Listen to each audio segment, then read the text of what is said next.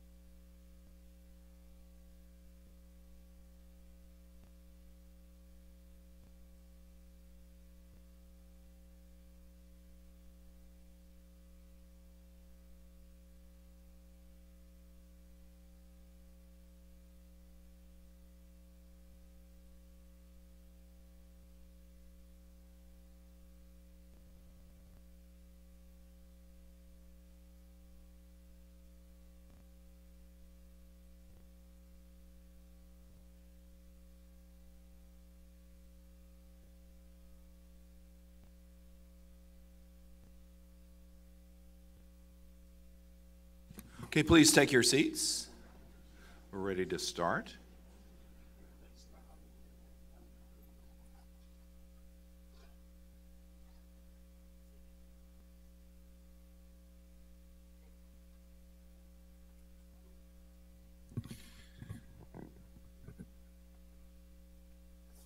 Well, welcome. Good morning, everyone, on this steamy morning in Washington. I'm Jim Glassman. I'm a visiting fellow at the American Enterprise Institute.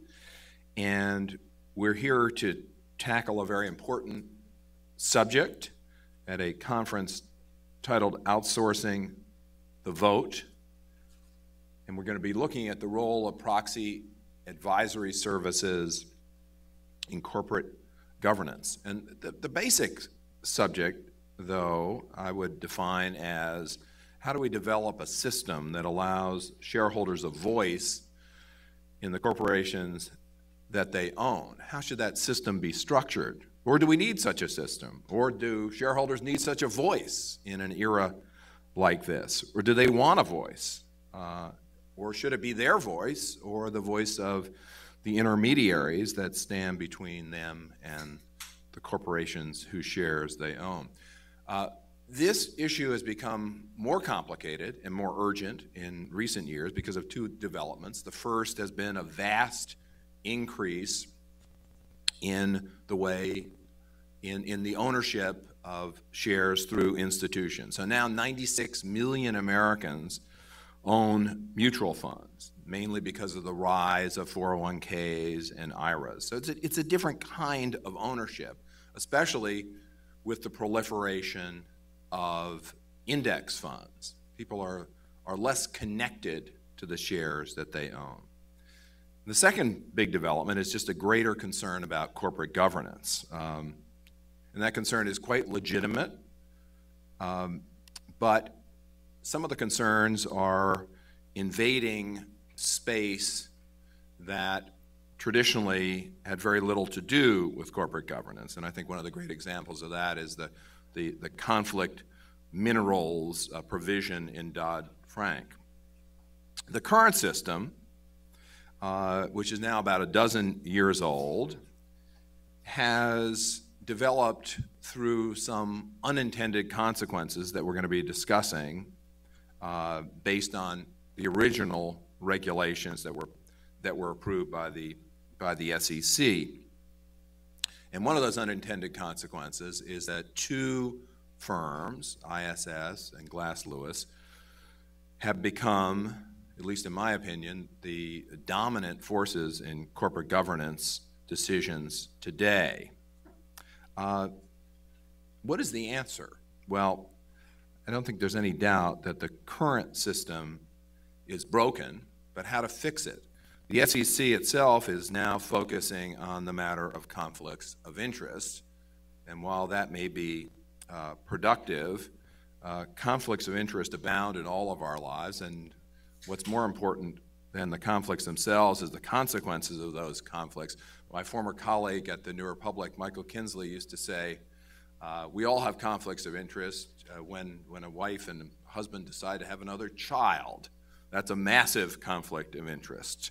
Um, conflicts of interest solved through regulatory means can often lead to regulatory capture, and rather than solving the problems, they, they exacerbate them. So that's one of the questions that we're going to be discussing today. We have an excellent panel, or two panels, to discuss the matters. Um, the first will be moderated by Peter Wallison and the second by me. We have AEI scholars. We have scholars who've come here from, uh, from the West Coast and from Philadelphia. We have three former SEC commissioners, uh, and we have practitioners. Unfortunately, we don't have anyone from ISS, but that was not through lack of trying on my part. Um, but we don't have subpoena power here at AEI, and uh, we probably wouldn't want to exercise it anyway. Certainly, uh, the views of the proxy advisory services will be well represented by the able Bob McCormick of, of Glass Lewis. So now it's my honor to introduce our speaker, our keynote speaker today, Patrick McHenry, who is now in his fifth term in the U.S. Congress representing North Carolina's 10th congressional district. Um, he is a member of the Committee on Financial Services of the House, which held a hearing on this subject a year ago, and he is the chair of the Oversight and Investigations Subcommittee of that committee. Uh, we're very, very pleased to have Patrick McHenry with us today. He's knowledgeable about this subject as well as I know one of his, his great interests um, is um, crowdfunding, but uh, he, he knows about these esoteric matters, and so I'm going to turn this over to Congressman McHenry.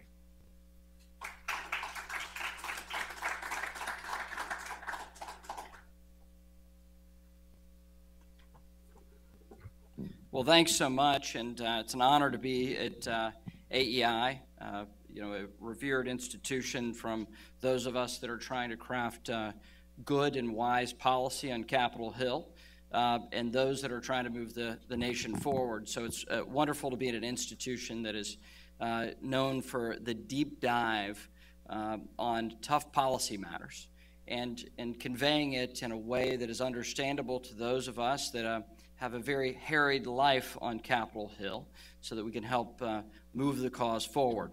And I, I, apologize for my lateness this morning, in particular because there's a little something going on among House Republicans uh, this week. Um, there is, uh, you know, a, a, an opening in leadership, which is a rare occurrence.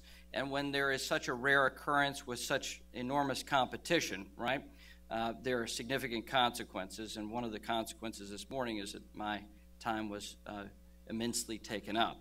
But uh, Jim, it's an honor to be with you. Um, I've been reading you, uh, much of what you've been doing, and uh, followed your career for many years, going back to one of my first jobs in Washington. Um, and, and so it's an honor to be with you. Um, and it's an honor to be with, um, well, the significant presenters today.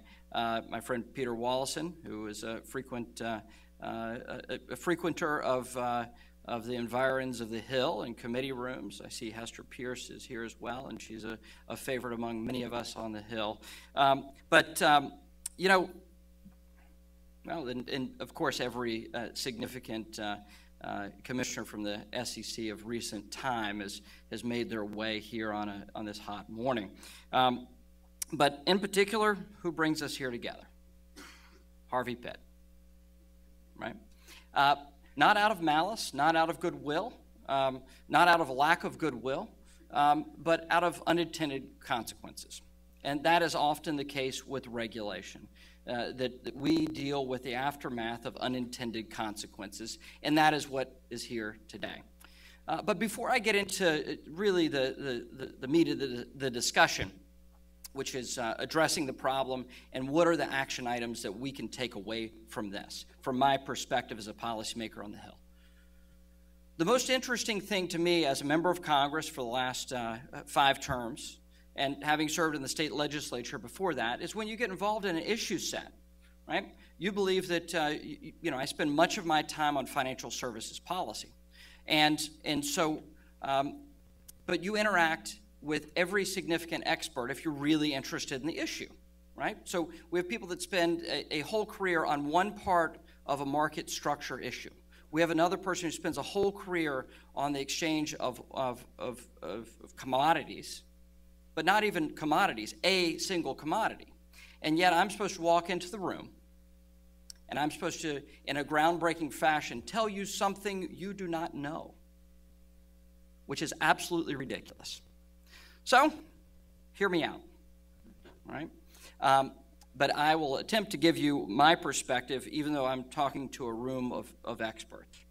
Um, and so, what we deal with today, and I, I concur with many of you in your view on this question of proxy advisors. For proxy advisors, um, we have to look to history. We have to look to history, and, and as often said that history repeats itself, and it's also often said that that's not an accurate statement. It doesn't repeat itself, but it rhymes. And in this case, the rhyme with proxy advisors is what we faced with a duopoly among credit rating agencies and the results of that duopoly. Now, in this case, we have a regulatory impediment uh, to significant competition that can be remedied.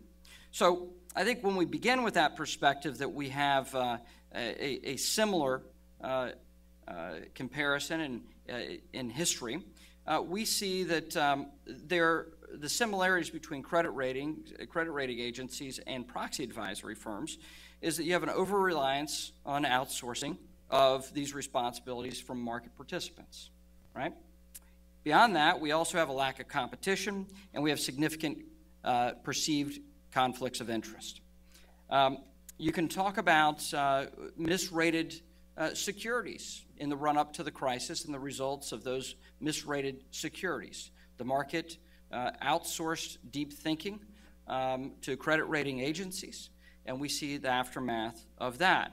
Um, you also see that uh, in similar fashion, in 2003, the SEC issued uh, their rules on, on uh, mutual funds and investment advisors on adopting these procedures. I don't think the intention was to fully outsource it, uh, the thinking uh, to other groups that don't have responsibility to market participants. Um, and likewise, you can see uh, that is an ana- analogous situation uh, as well with the credit rating agencies. So these are unintended consequences, I believe, not a uh, as a result, and I'm sure we'll hear this from from the panels coming up. Um, but it's simply um, it's, it's simply false assurances that are given uh, to those that, uh, that, uh, that participate in, in, uh, in, in, outsourcing of their votes uh, to, uh, or determinations on their votes to other firms. You also see a lack of competition. The barriers to entry into this are very similar to what, um, what we saw with the credit rating agencies. When you have the proxy advisory uh, industry controlling, uh, in essence, two, uh, two participants controlling 97% of the market, uh, that is obviously a market failure. Um, you also see that the barriers to entry are significant because uh, they're producing a mass commodity. When you have a two, uh, two month window governing an enormous number of votes that are just simply unfathomable to the average investor, the average owner of mutual funds does not contemplate how many individual firms they own and the consequences of their ownership uh, through a fund uh, on, on the impact of the governance of those, of those um, uh, companies. So, the other thing that results from this, obviously, is that when you outsource uh, to a, a, second party, um, in order to protect yourself, protect yourself from legal action, you're outsourcing to, to a group that doesn't have any real consequence uh, for their decision making. And they're also open, as, uh, as look, as Jim stated with this, with uh, conflicts of interest, they're also open for business in terms of uh, who uh, seeks their advice or seeks action through these proxy advisors. Um, and, and so that's the real game in town. If you want to have an impact, if you're an activist investor, if you're from some folks that will be participating later today, uh, they obviously like it. It gives them a real opportunity uh, to go in and make their case to an outside group that has no responsibility for shareholder value. If that's not problematic for the market, if that's not problematic for my constituents, my average everyday constituent who's trying to save for retirement, I don't know what is. So, with those conflicts of interest and the outside groups playing a significant role, you have to have a check and balance. Well, the check and balance is responsibility. The check and balance is, is ensuring uh, that those that, uh, that are forced into this process through a regulatory regime, that they have another option so that you can inject competition, either in-house um, or opening up a variety of opportunities for them. And I'll get into that in a moment. So if shareholder value is of secondary consequence to you, that affects your votes. As we're seeing on Capitol Hill with leadership elections, if you have no state in, stake in the game, your levels of responsibility are significantly different. So, my House Democrat colleagues have a different choice for leader and whip uh, for, that House Republicans control, right? They don't have the same responsibility, they don't have the same stated goals. So, you want to see a conflict of interest? Well, let's bring in my Democrat colleagues into my Republican uh, conference meeting and allow them to elect my Republican leadership. Actually, how about this? Why don't we simply, I'll outsource my vote to someone else who doesn't have any responsibility to this process. And maybe at the end of the day, maybe, um, uh, you know, ensuring good public policy, uh, you know, conservative public policy is not their goal. Maybe that's not even in their list of criteria. So, you see the problems, the practical problems of a complex issue on an average, well, I shouldn't say average, because Congress is indeed unique uh, for many and varied reasons. Um, but, uh, but the idea is a significant one. You also have the problem that we all face when we go into the ballot box. A problem is this I walk in in North Carolina and see 25 people on the ballot, 25 different elections on the ballot. And I've been involved in the political process for quite a while. There are some elections of those 25 that perhaps I don't want to make a decision on. That's between me and that paper ballot and that little pencil or pen that they give you, right? Well, if I skip an election, I'm okay with that. I don't have the obligation to vote on every election, every question on the ballot. That liberation is actually a helpful thing. That means that people that are much more deeply engaged in this process in that particular election or have a better feeling for the two candidates. Maybe the failure is that I know both candidates and therefore I don't want to give either one of them my vote. I'm not saying I do that, right?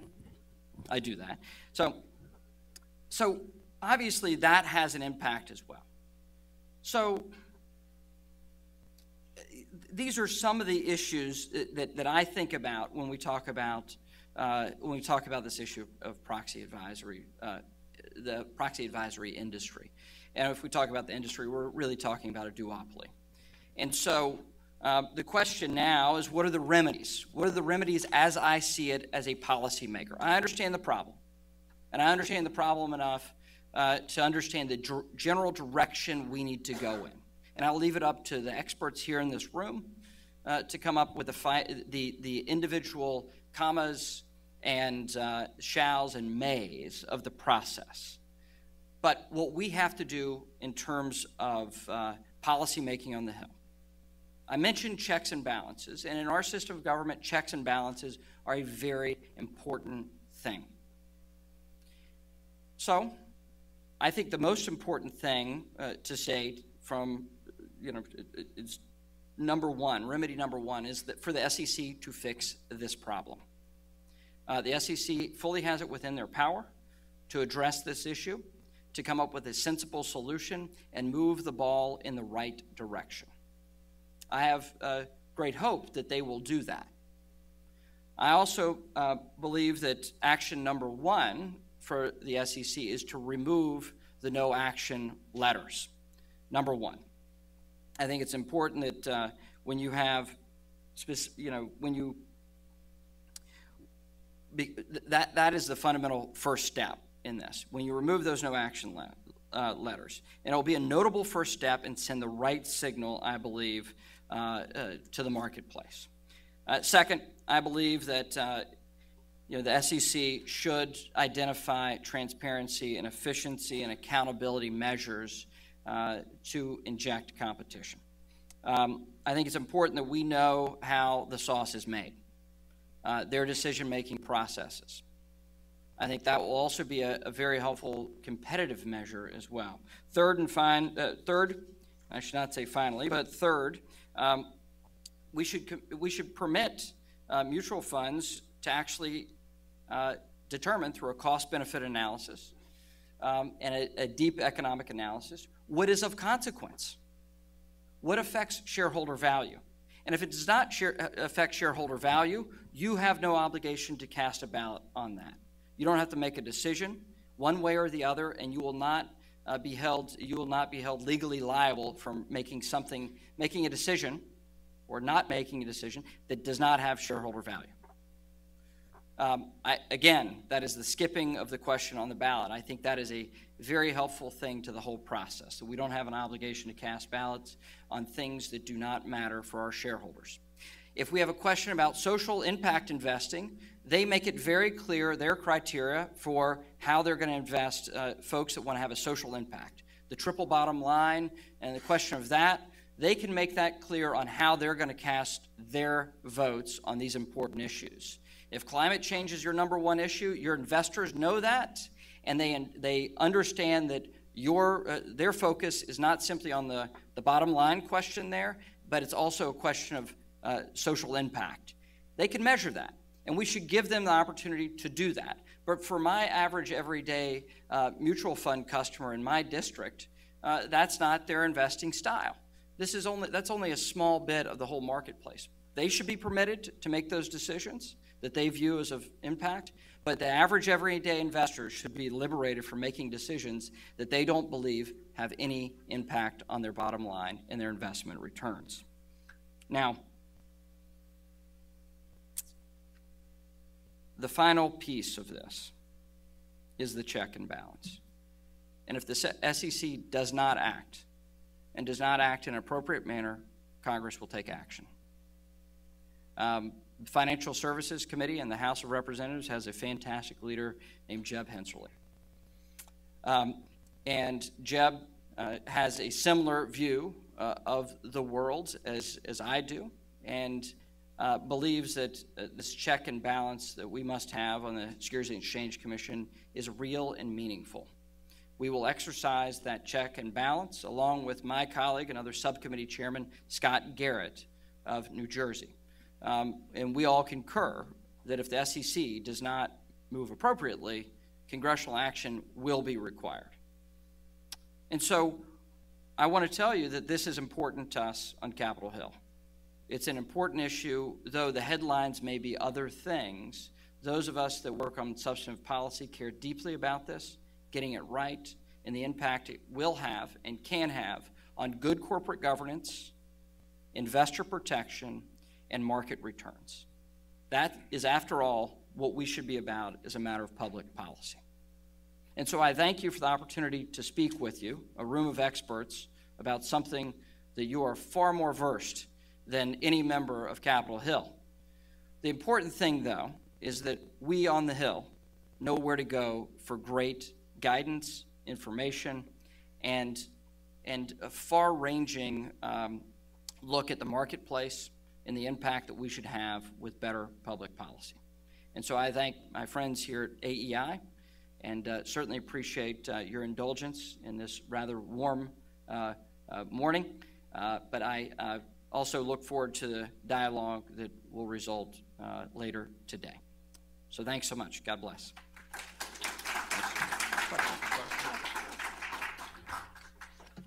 Thank you, Congressman, for showing that you really do have a great deal of expertise in this area.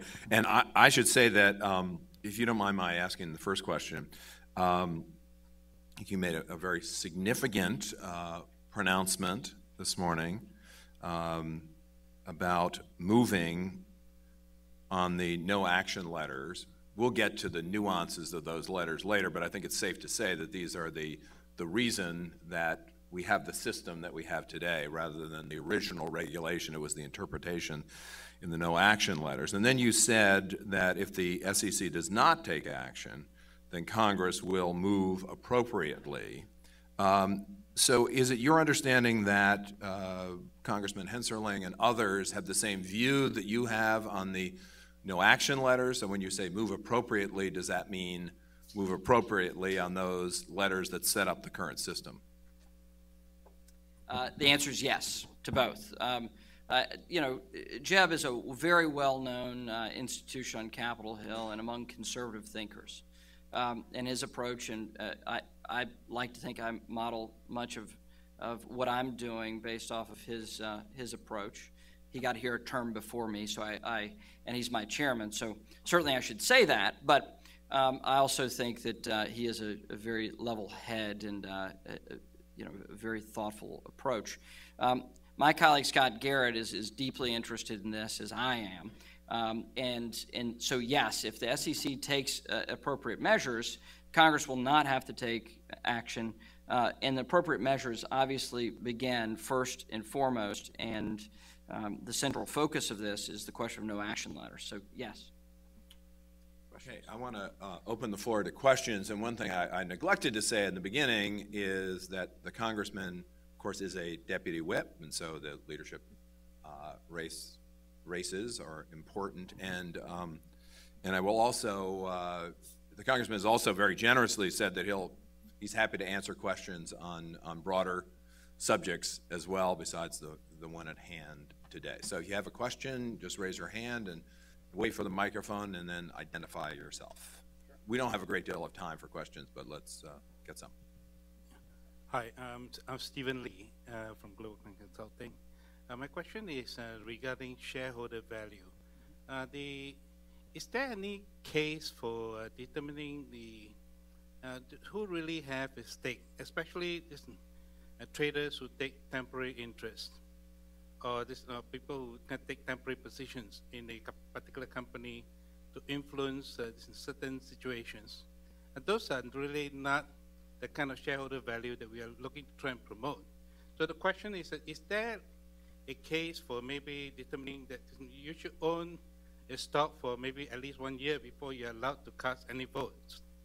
Well, I, you know, that's a it's an interesting question, but not uh, I don't think uh, Im important to the discussion we're having today. Um, that is a, a, far less consequence, in my view, than this question of uh, of uh, proxy advisory firms' role and the duopoly that they have. Um, that that is something that I, I don't think the SEC needs to spend time determining at this point. There's enough on their plate. um, uh, before they, they start uh, rethinking that. Uh, The, the real issue with uh, proxy advisory, uh, the proxy advisory industry is that, um, you know, at, at the heart of this, you have mutual funds outsourcing their vote. The hold for, the hold time for mutual funds is is very significant, and, and it doesn't pose those concerns in terms of the- time element uh, that you, you raise. Let me just ask another quick question, because you, you, you also recommended that uh, mutual funds determine what is consequential, and if it does not have an effect, they can uh, skip making a decision. And you gave the, the excellent comparison of different lines on the, on the voting card that you may want to, you may want to skip. But um, mutual funds are often worried about getting sued, and so uh, if they think that um, that they need to make decisions uh, because of liability issues, uh, they're, they're only too happy to outsource recommendations to, uh, to others that will protect them from being sued. Um, Don't you think that's kind of a, a almost insurmountable problem? No. I'm an optimist. I'm an optimist.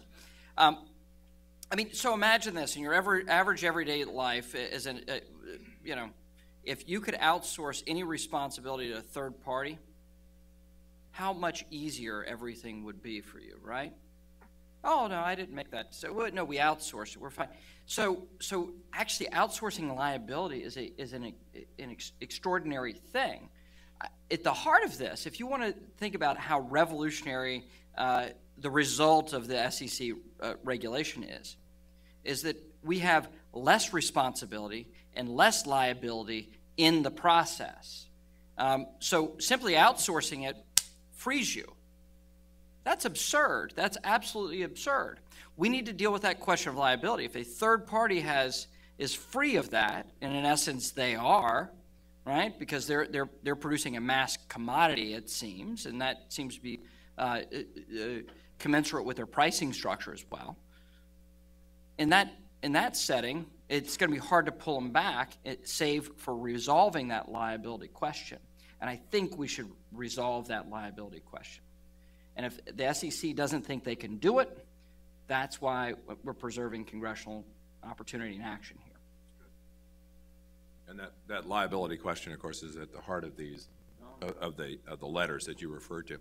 Um, Well, we don't have any more time, and I really appreciate you coming, uh, Congressman. You, you certainly have given us a lot to think about. You've been extremely uh, forthright on this very, very important issue, and I can't think of a better person to kick off this conference than you. So thank you so much. Thanks so. Thanks so much. Very good. Good. So will the uh, first panel come on up? Peter Wallison will take charge. I, I, I do want to mention that, um, that we are uh, on streaming video. People are watching from all over the country, and um, we hope they'll be properly edified.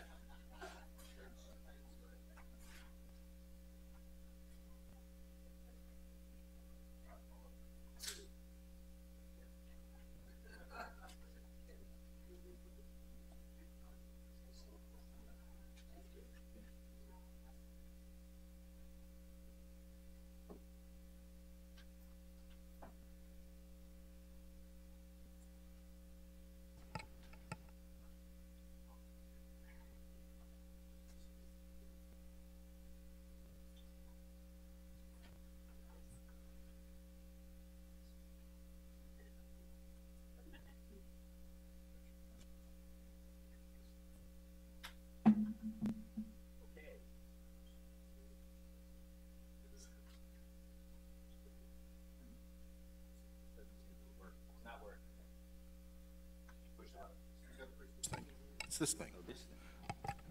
Ah, yes, okay, got it, thank you. It's been a while since I've been up here with these mics.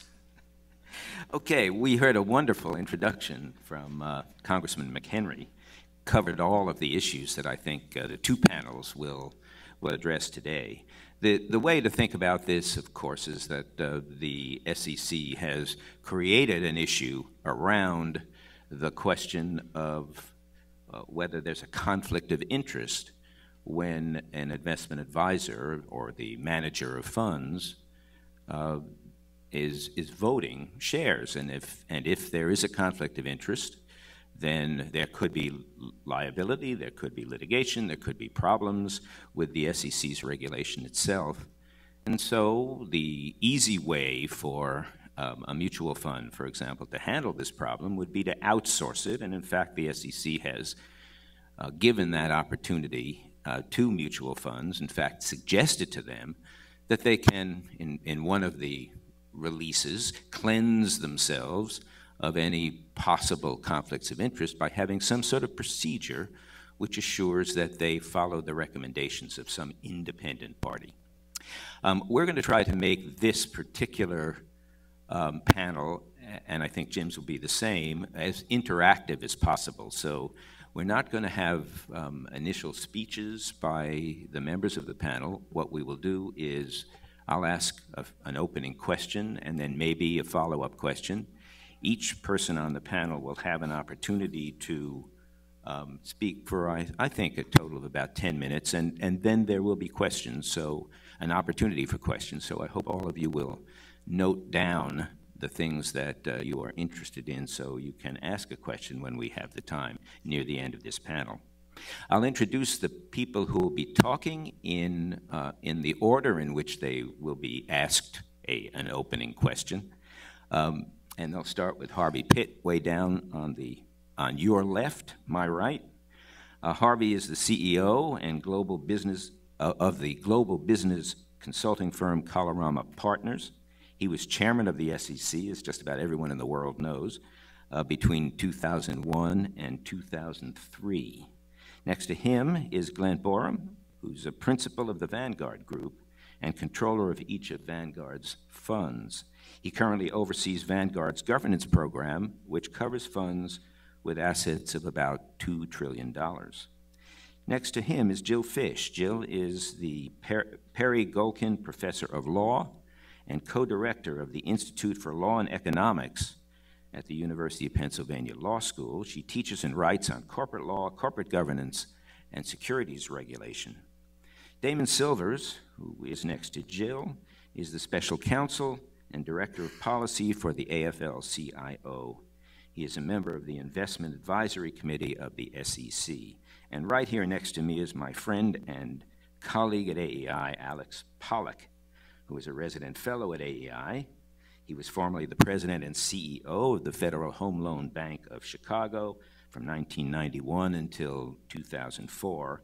Among other outside activities, he is the lead director of the CME Group.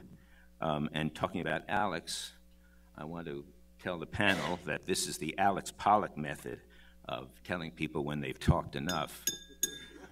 It's it has that perfect that perfect resonance. and so even Alex, even Alex may be victimized by this.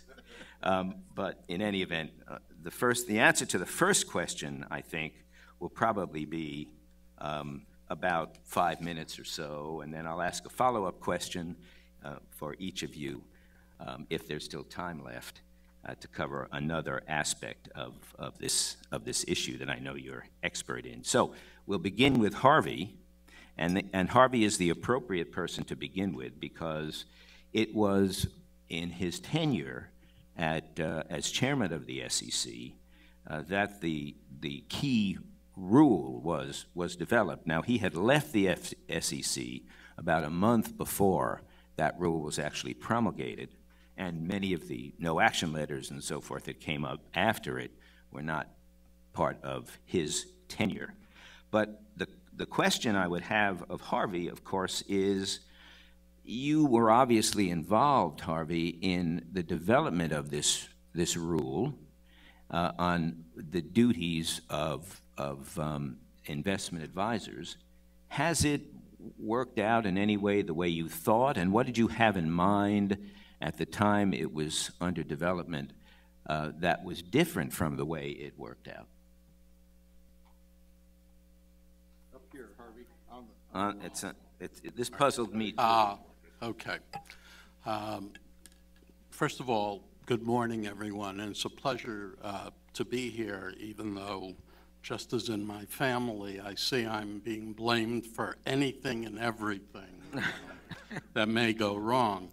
Um, The um, rule was uh, something that I um, actually favored and uh, pushed because um, there were difficulties uh, with mutual funds and other investment advisors, portfolio managers, um, not having defined policies as to how they would vote shares when they would vote. So our goal was very simple. We passed a very simple rule, we thought, uh, which was um, that uh, if you managed a portfolio, uh, you would develop a policy as to how you might vote the shares. And then 60 or 90 days after um, you actually voted shares, you would tell shareholders how you voted. Um, very simple. Um, there were, if the rule had been left as it was adopted, no unintended consequences, although there was certainly opposition from the mutual fund industry. Um, what happened, as you uh, correctly uh, indicated, but it, it sometimes gets confused. People talk about the SEC. The SEC staff responded to two no action letters. And unlike um, most no action letters, which are intended to interpret um, or give guidance to people as to how they can uh, conform to an existing rule, uh, these two no action letters um, revised the rule that the SEC adopted. Um, and although it happened uh, after I left the SEC, as Peter pointed out, uh, nonetheless, it shouldn't have happened at all, and people should have understood um, that this is a significant problem because there were no procedures, policies, and the like uh, formulated. Um, the no action letters, one to Egan Jones and the other to ISS as um, proxy advisory firms, basically said that if an advisor has a conflict and cannot actually vote shares of stock without divulging the conflict, the advisor can delegate and outsource the vote to a third party, provided the advisor makes that part of uh, its policy.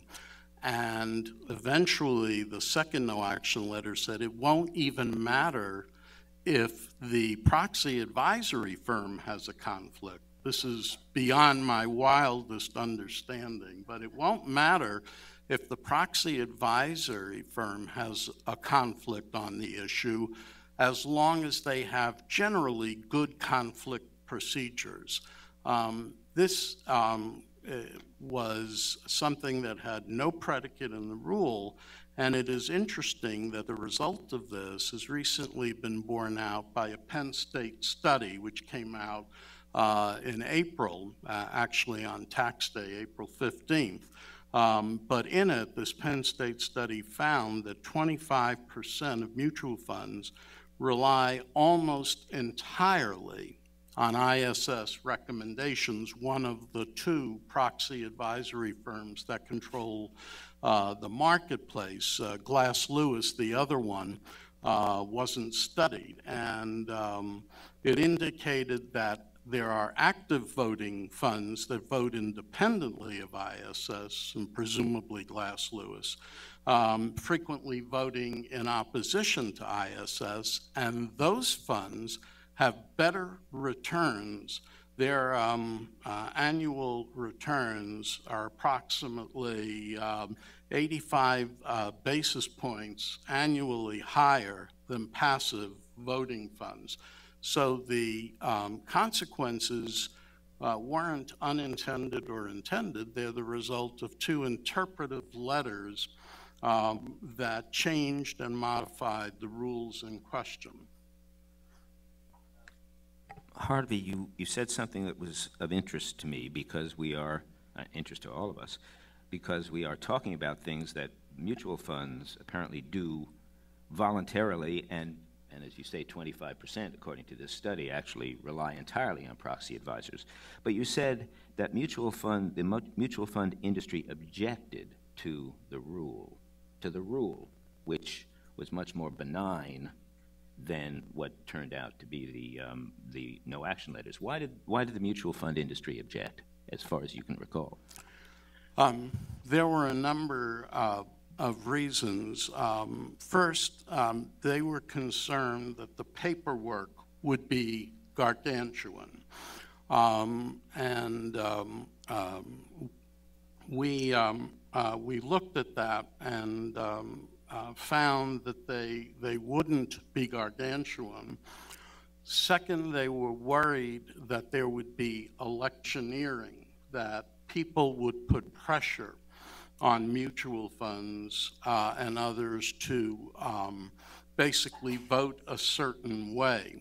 Um, uh, that was, um, we thought, um, manageable if there was no disclosure of actual voting until months after the actual vote. And um, if the policies were generic, that is, there was no requirement to state how a fund would vote in any specific case. And so the rule was amended before it um, was published and finalized to make certain um, that general policy statements would be acceptable, uh, but it was a function of the portfolio securities um, really being the property of the owners of the mutual fund.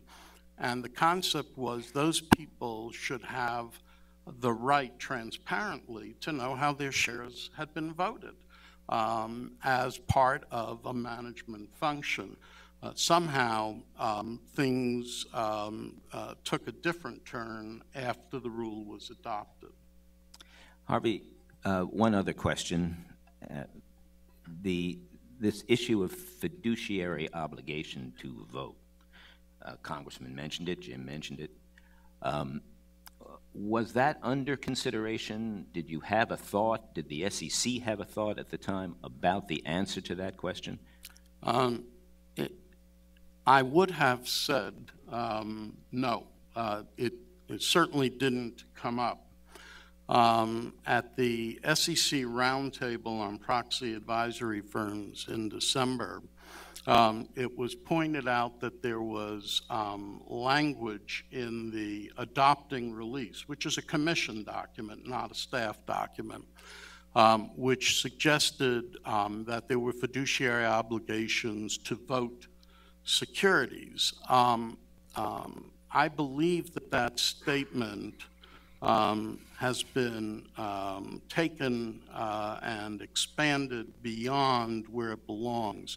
Um, the congressman correctly pointed out a view that I, I feel strongly about, which is if the person, if a person who owns shares directly can decide not to vote, then mutual fund managers and other portfolio managers should be able to decide not to vote.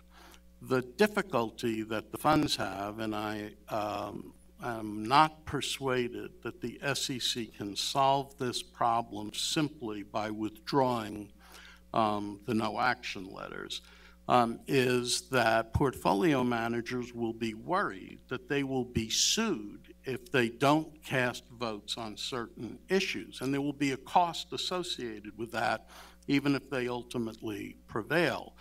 To my way of thinking, the standard could well be, and some funds have adopted this policy, um, that as a statement of their voting practices and policies, funds would say if an issue um, is perceived by us as uh, directly affecting or uh, the value of shares, the economic relevance of the issue, we will vote on that issue. But if it is a social agenda issue, or, or things that we perceive as only at best tangentially related to the value of securities, um, it is likely that we will not vote unless it's an issue about which we feel strongly. Something along those lines should suffice. It should not be a breach of fiduciary duty, and if the SEC embraced that, um, it would probably go a long way to relieving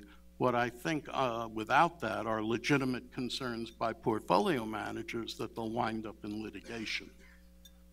Okay, thank you very much, Harvey. Uh, Glenn, um, how does Vanguard use proxy advisors?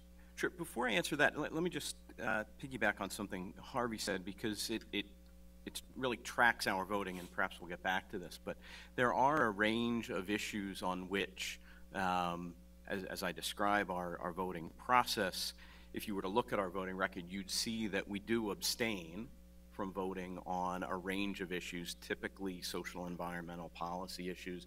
There are also instances in markets outside the U.S. where we don't vote on particular matters because the, the costs of voting, either through reducing the liquidity of shares or re, re-registering shares to vote at meetings outside the U.S. would, we think, interfere with the management of the fund. So um, we, we, as a general matter, vote on just about everything, but there, we have set aside a range of issues on which we will abstain from voting. It's still a vote cast per se in, in most instances, but it doesn't reflect a hard for or against the issue.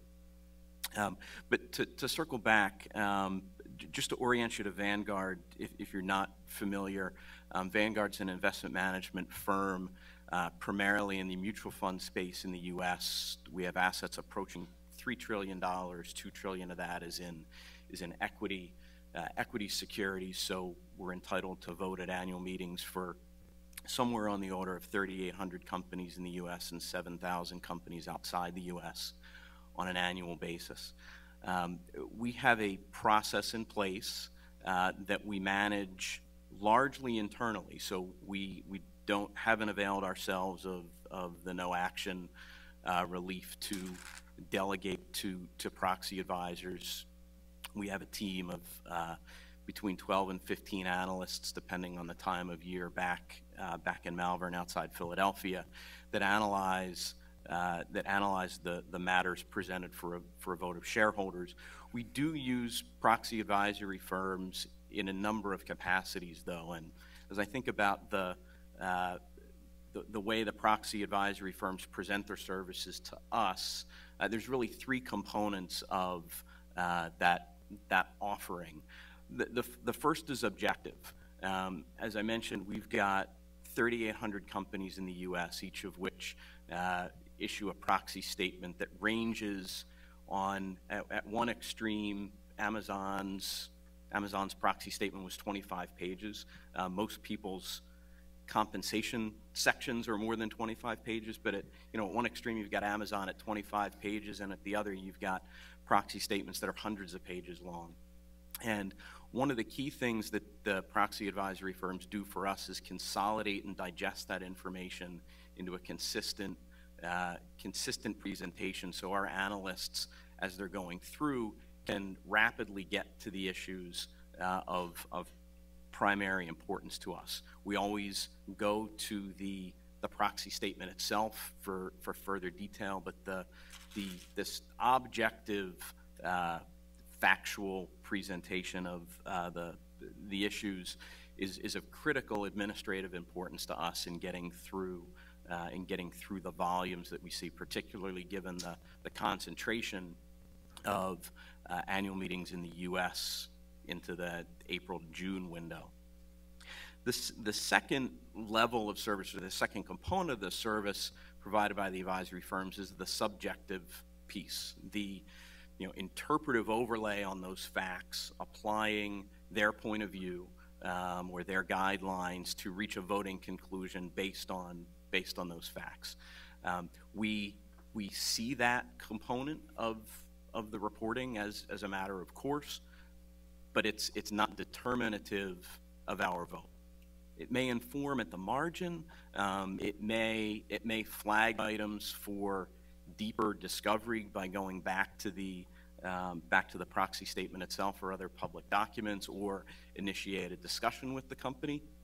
Um, but it's, it's not determinative, so we're not relying on the recommendations of proxy advisors to cast, to cast our votes. The third, um, third component, really separate from the discussion today, is um, both ISS and Glass Lewis provide a voting platform. So a, a, a process through which votes across a significant number of portfolios, in our case, um, we've got 200 plus individual accounts um, on which we need to vote, and they both both offer voting platforms that, uh, again, provide administrative support for that, both from an execution standpoint and a reporting standpoint. Um, both offer services that support the the vote disclosure on the back end. Um, so that's, but really for us, the, the primary use uh, is is really that factual digestion of uh, 3,800 or 13,000 proxy statements so that our analysts can apply our guidelines uh, to, to, the votes, to the votes that we cast. Uh, do you ever explicitly take the position that you are following the recommendation of a proxy advisor? No. So, um, are you taking the position that you do not have a conflict of interest? in, in connection with any of these votes? No, I, I mean, we, we've often said that there, there are two, two kinds of companies that we own in our portfolio clients and potential clients, mm-hmm. right? So you, you could take an argument at the extreme that we're potentially conflicted with every one of those votes. Uh, but as a, as a practical matter, we've separated, both from a, an execution and an oversight standpoint, we've separated the vote execution analysis from the client side of our business. And so that so the proxy voting group that I described, these 12 to 15 analysts, live within within our fund operations group. They have no visibility to um, to our client relationships, and um, they they vote on the basis of the guidelines and the facts that were presented in the context of our analysis. From an oversight standpoint, we have a senior executive group comprised of folks like our chief investment officer, our general counsel, uh, the, the fund's CFO, our corporate uh, CFO, me as the fund controller. Um, again, none of whom have client facing responsibilities. So, yeah, we have, um, we have clients whose stock we also own, but that, that never, never factors into the, um, to the decision making process. And in fact, I've had, um, I, I, was, I was doing the rough math this morning. I've, I've been in the, the governance role for about the last 14 years. So, you know, roughly speaking, that equates to somewhere, somewhere north of 100,000 shareholder meetings that we voted at. Um, we, I've had the client card played three times, never from within the firm. Um, always from the company itself. Um, and that has never gone well for the company that played that card. Uh, now, obviously, it was played given a knowledge that we were already against something that the that the company was advocating for, or for something the company was advocating against. Um, but that's never played a factor in our voting. How much does it cost uh, for Vanguard, as far as you know, you're the controller after all. Um, how, how much does it cost the Vanguard funds to do your own analysis and develop your guidelines and your policies and so forth for voting? Is that a significant cost? And does it include, um, do you vote on everything? Or do you, uh, other than your, perhaps the foreign voting, yeah. But here in the United States, do you vote on everything that's before the um, uh, before the uh, uh, here in the voters, United States, the shareholders? We, we, vote on practically everything. As, as I mentioned, there's a there's a subset of proposals, typically environmental and social shareholder proposals, on which we abstain. Um, the the rest of the portfolios we tend, I'm sorry, the rest of the proposals we tend to vote on. Um, I, I don't have a cost number to quote, um, but as I mentioned, it's 12 to 15 people out of our 14 14,000 uh, 14 or 15,000 global crew um, on a share on, a, on an asset base approaching $3 trillion. Okay, Glenn, thank you very much. Uh, Jill, um, you've written some very influential and important papers based on your research concerning the power, the actual power, as you've been able to scope it out, of proxy advisors. What, what have you got to tell us about that? Uh, I mean, I'm taking a, a paper that's 50 pages, you have to reduce it to five I have minutes. to summarize it into a Sure. soundbite. Um, I had a couple of slides. I don't know, Peter, if we can get them Yeah, up. they're, should be on there. That, I don't know whether this is winked out or Probably timed out. Um, anyway, might have. um, I think we have to be a little bit careful when we think about the influence of proxy advisors and this idea of outsourcing the vote. And we've looked at this in a couple of different ways, and we're continuing to work in this area. Um, and all of this work is uh, co-authored with Steve Choi and Marcel Kahan at NYU. Um, first of all, the fact that institutional investors vote the same way as the ISS recommendation is not surprising. Uh, the vast majority of ISS recommendations are aligned with management. They're, they're recommending the same way. Management says vote for our director candidates. ISS says we support these director candidates 93, 94% of the time. Um, the ISS recommendation is aligned. So you're going to see a lot of alignment between the votes and the ISS recommendation, no matter what. Second, the factors that are driving the institutional vote are often exactly the same as the factors that are driving this ISS recommendation, right? Take Vanguard's votes, right? They're going to look for a director election, say. They're going to look at, well, did the director attend the majority of the board meetings? So th- was the director absent a lot? Um, is the director, does the director sit on too many boards? Does the director have conflicts that we're concerned about? Independence, right? Those are all things that factor into Vanguard's analysis. They also factor into the ISS recommendation. So when we started looking at this, what we did was we tried to control for these other factors. And you can find these other factors from the proxy statement the same way that Glenn does, the same way that Vanguard does. Um, and we found that when we controlled for the other factors, the proxy advisor's recommendations still mattered. Um, ISS's recommendation in particular seemed to influence the vote by a margin of 6 to 10 percent. That's a lot.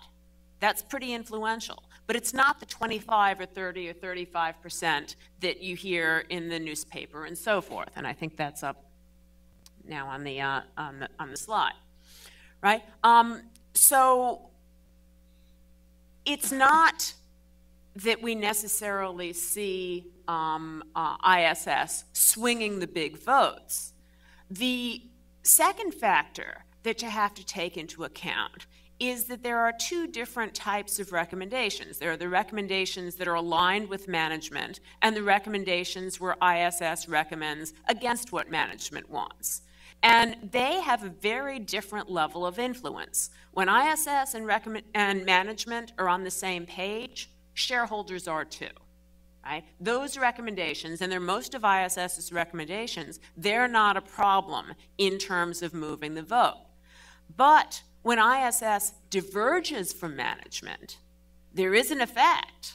But institutional investors tend to be a lot more skeptical. Institutional investors are not blindly following or not going along with ISS 100% of the time on those votes, whether it's a withhold recommendation or a recommendation to vote down a pay package or a recommendation that's against a management proposal, something like that, right? And we found that when you look carefully, the number of mutual funds that outsource to ISS in the sense that they're following ISS 99% of the time, something like that. It may be a large number of funds, but in terms of assets under management, in terms of votes cast, the number is much smaller. In our sample, it was on the order of 3% of assets under management. And the reason that that number is so much smaller is because this outsourcing to the extent it occurs, and it does occur, occurs primarily at the smaller institutional investors. right? The institutions that are commanding fewer votes are also relying more heavily on the proxy advisors. Why is that? It's not surprising, right? Uh, Glenn told you that Vanguard has a staff of 12 to 15 people doing this. He told you about the information demands of analyzing all of this. And Vanguard's a huge company. A small mutual fund company doesn't have the resources to put 12 to 15 people to work on this. BlackRock has, I think, 20 people uh, running their uh, uh, voting decisions. And if you're uh, voting shares at thousands of companies, thousands of annual meetings a year, a staff of 12 or 15 or 20 people, that's a pretty small staff.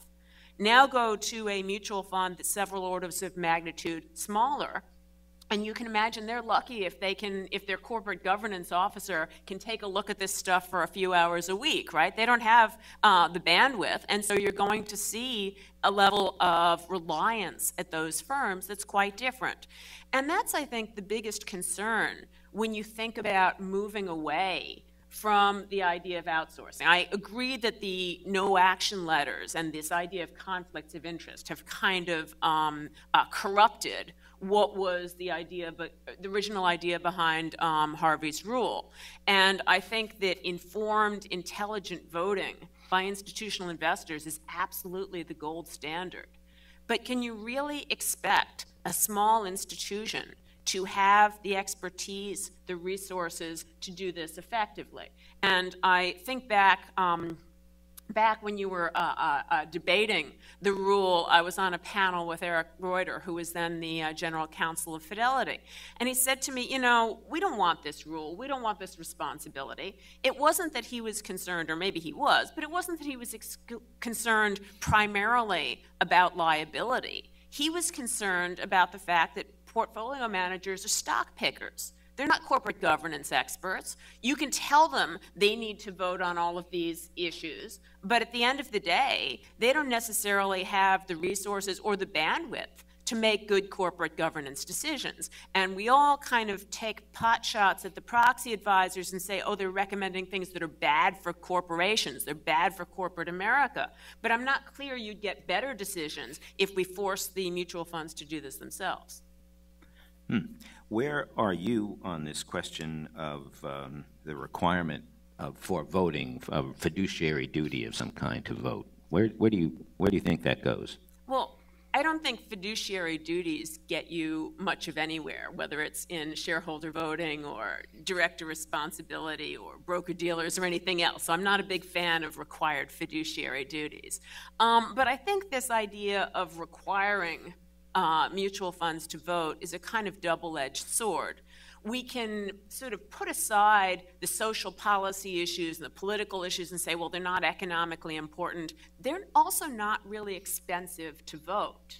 You know, it's not hard to analyze what your what your policy is on, um, you know, employment practices in third world countries or uh, disclosure of political spending, and then to cast that vote across the board at all of these annual meetings. And whether uh, mutual funds rely on ISS in terms of analyzing what approach they should take when they formulate their guidelines, whether they rely on what they read in the newspaper. You know, at the end of the day, it's not a complicated process. Where voting is expensive is on the things that I think we agree are economically important. Um, you know, uh, mutual funds didn't really uh, demand this vote on executive compensation but it's incredibly expensive to analyze. The information costs are huge, and at the end of the day, it could really matter.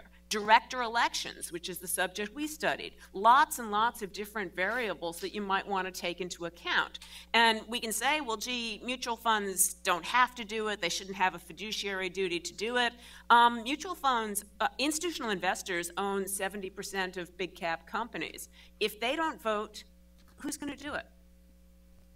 Um, on this question, I think we have a little bit of time left, maybe a minute or so. So I'm wondering where you say uh, your, your study shows a, a, lot of convergence between what the mutual funds do and what the recommendations are, and the conclusions you draw from that is that they really, the recommenders, the proxy advisors, are not that powerful. They're actually doing exactly what the mutual funds are doing anyway when they make these recommendations. Well, to what extent are the mutual funds conforming with, with with what they expect the proxy advisors to say so that they don't get into any kind of trouble.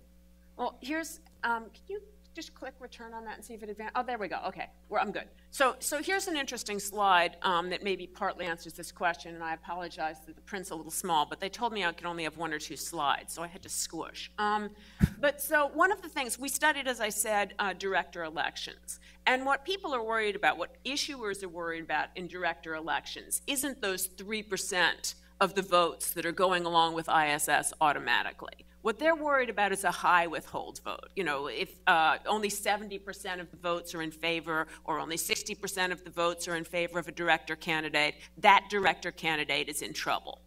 So we looked at the relationship, the influence of ISS on high withhold votes.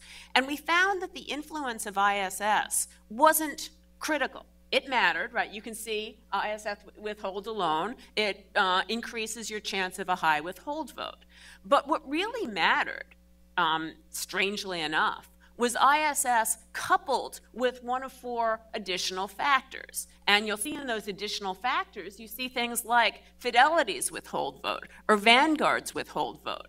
Um, so it turns out that, you know, if you're thinking of kind of being in touch with the mind of the institutional investor, uh, the proxy advisors do a pretty good job. But the proxy advisors can't do it alone. And when they get it wrong, as you see kind of reflected in the votes of Fidelity and Vanguard, you also see it reflected in the bottom line. The when the proxy advisors get it wrong, the big institutional investors aren't going along, and the big votes aren't swinging that way. Well, thank you very much, Jill. We'll get back to you if we have some time and if there are questions from the audience. Damon, good to have you here. Um, I, I would assume that um, you are in favor of proxy advisors. Um, do you think they should be regulated in some way by the SEC? Well, um, let me start by saying that I, am not sure I'm in, am I in favor of proxy advisors? I'm not, I'm, I, I don't know. I don't think about it that way. I mean, I, I think that, um, uh, I mean, look, I, I, let, let's, let's start sort of from foundations, and those foundations have come up a couple times in this roundtable uh, already. But I mean, the right to vote your shares uh, is clearly an asset. It is clearly part of the bundle of rights that you get when you buy a share of stock. And, and clearly, mutual funds, part of what mutual funds have, including the right to do other things. There's a, there's a, there's a, there's a bundle that constitutes what a stock is, what a share of stock is. And um, not surprisingly, I think there's a general view among mutual funds, which are a kind of fiduciary, uh, that that right ought to be managed by people who are knowledgeable about it. Right? It ought to be managed at an, at an expert level. I, think uh, our friend from Vanguard didn't say that, but I think that's clearly what they do and what motivates the way they think about it. It's what the 15 people, I assume, are all about. Proxy advisory firms are a source of expertise, and as Jill laid out, um, some money, some mutual funds simply, as a matter of economies of scale, don't have the ability to bring that expertise in-house. Um, I'm, I'm, very amused by the congressman's uh, hostility to outsourcing. I've got a long list of other outsourcing issues I want to raise with him now that I know he's so against outsourcing. Um, the, uh, but um, it's just common practice in investment management when you don't have the expertise in-house or you, you can't, uh, it's, not, um, uh, it's not economical to do it, uh, to, to, to, outsource it, to, to hire expertise outside uh, and particularly to do so if you think that you have an unmanageable conflict. Uh, that's just standard operating procedure uh, across the investment management world.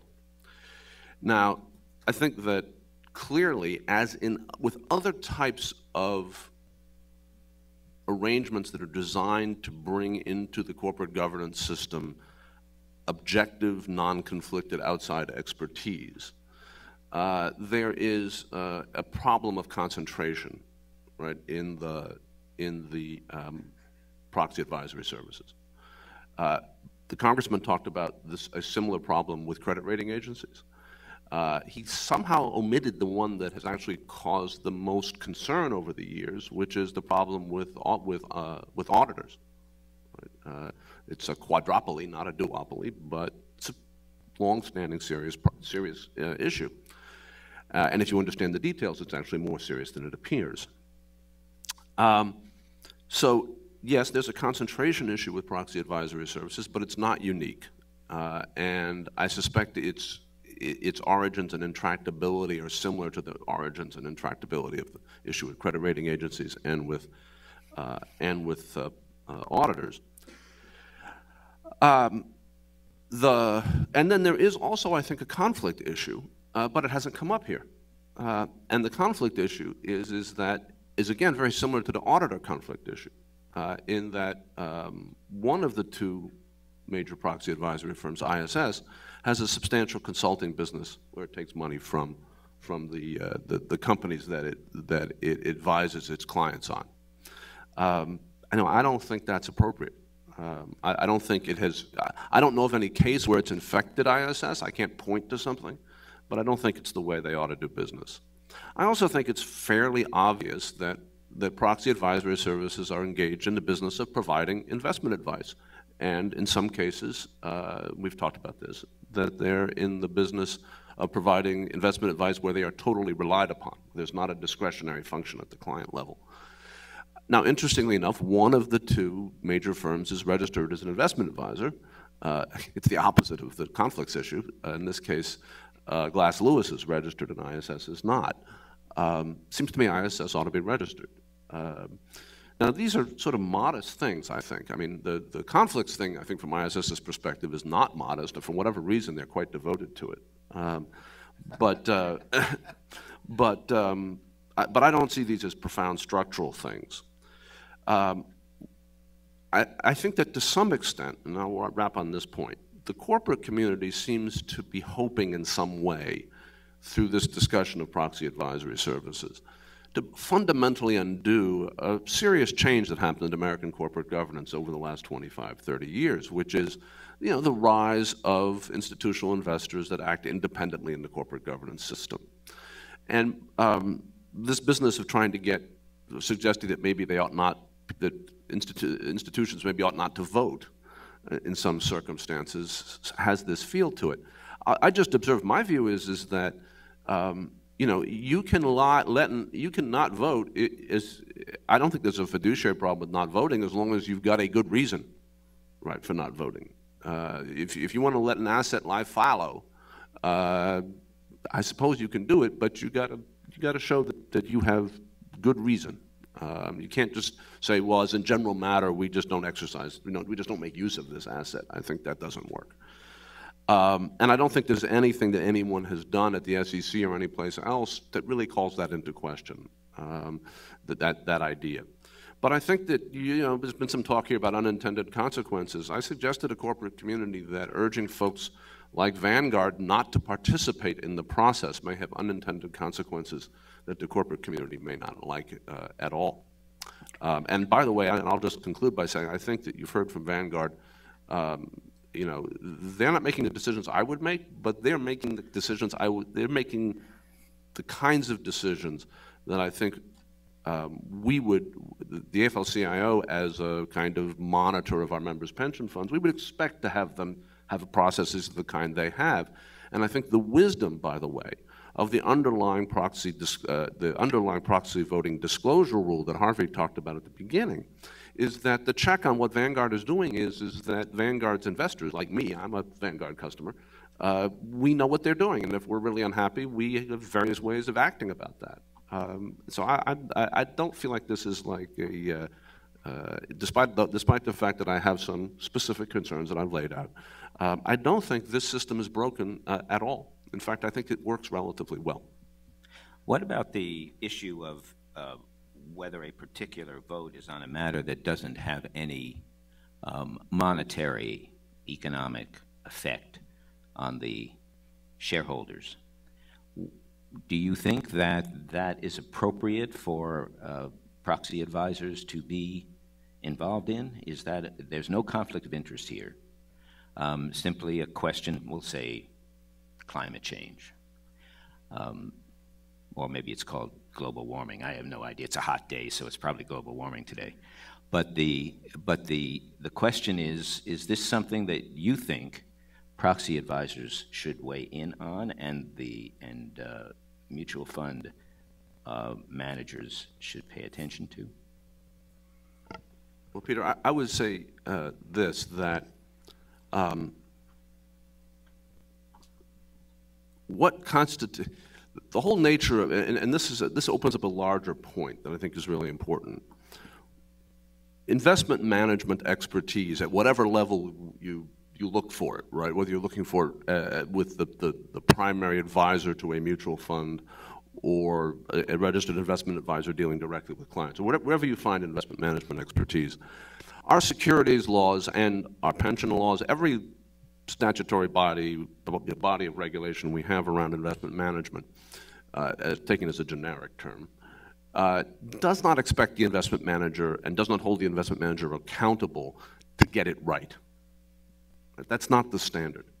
Right? The notion that we all understand that investment management is a business of taking risks and that sometimes they get it wrong. You're not legally liable for making a mistake. You're legally liable for not exercising due care, for having conflicts of interest, uh, and the like. Proxy voting is a subset of investment management. It ought to be subject to that type of regime. Right? There ought not to be a kind of gotcha system where the expectation is, is that in this area alone you have to get it right or you will have a legal problem. Now, the question of what, share, what shareholder proposals have, or what matters, I think the better way to put it this is, the question of what matters that come before an annual meeting have economic consequence is in the is in the eye of the beholder. I think there are certain matters that it's quite obvious have large economic consequences. Uh, the you know an, an M&A transaction, for example, is I think indisputably of great economic consequence. Jill just said that executive pay is a, a matter of great economic consequence. I, I strongly agree, and I think there's a growing consensus, particularly after the financial crisis, that this is true. But over the years I've been involved in this issue, I've heard many people say it doesn't matter at all.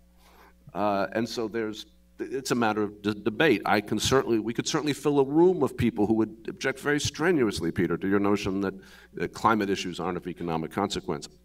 I don't think we have to answer those questions. I think the point of the system is whatever's coming in, the, the, the fiduciaries have to look at, the proxy voting services have to look at. There's nothing stopping a proxy voting service from saying, hey, this issue doesn't matter. You know, if a proxy voting service believes that, I don't see any reason why they can't say that. Mm-hmm.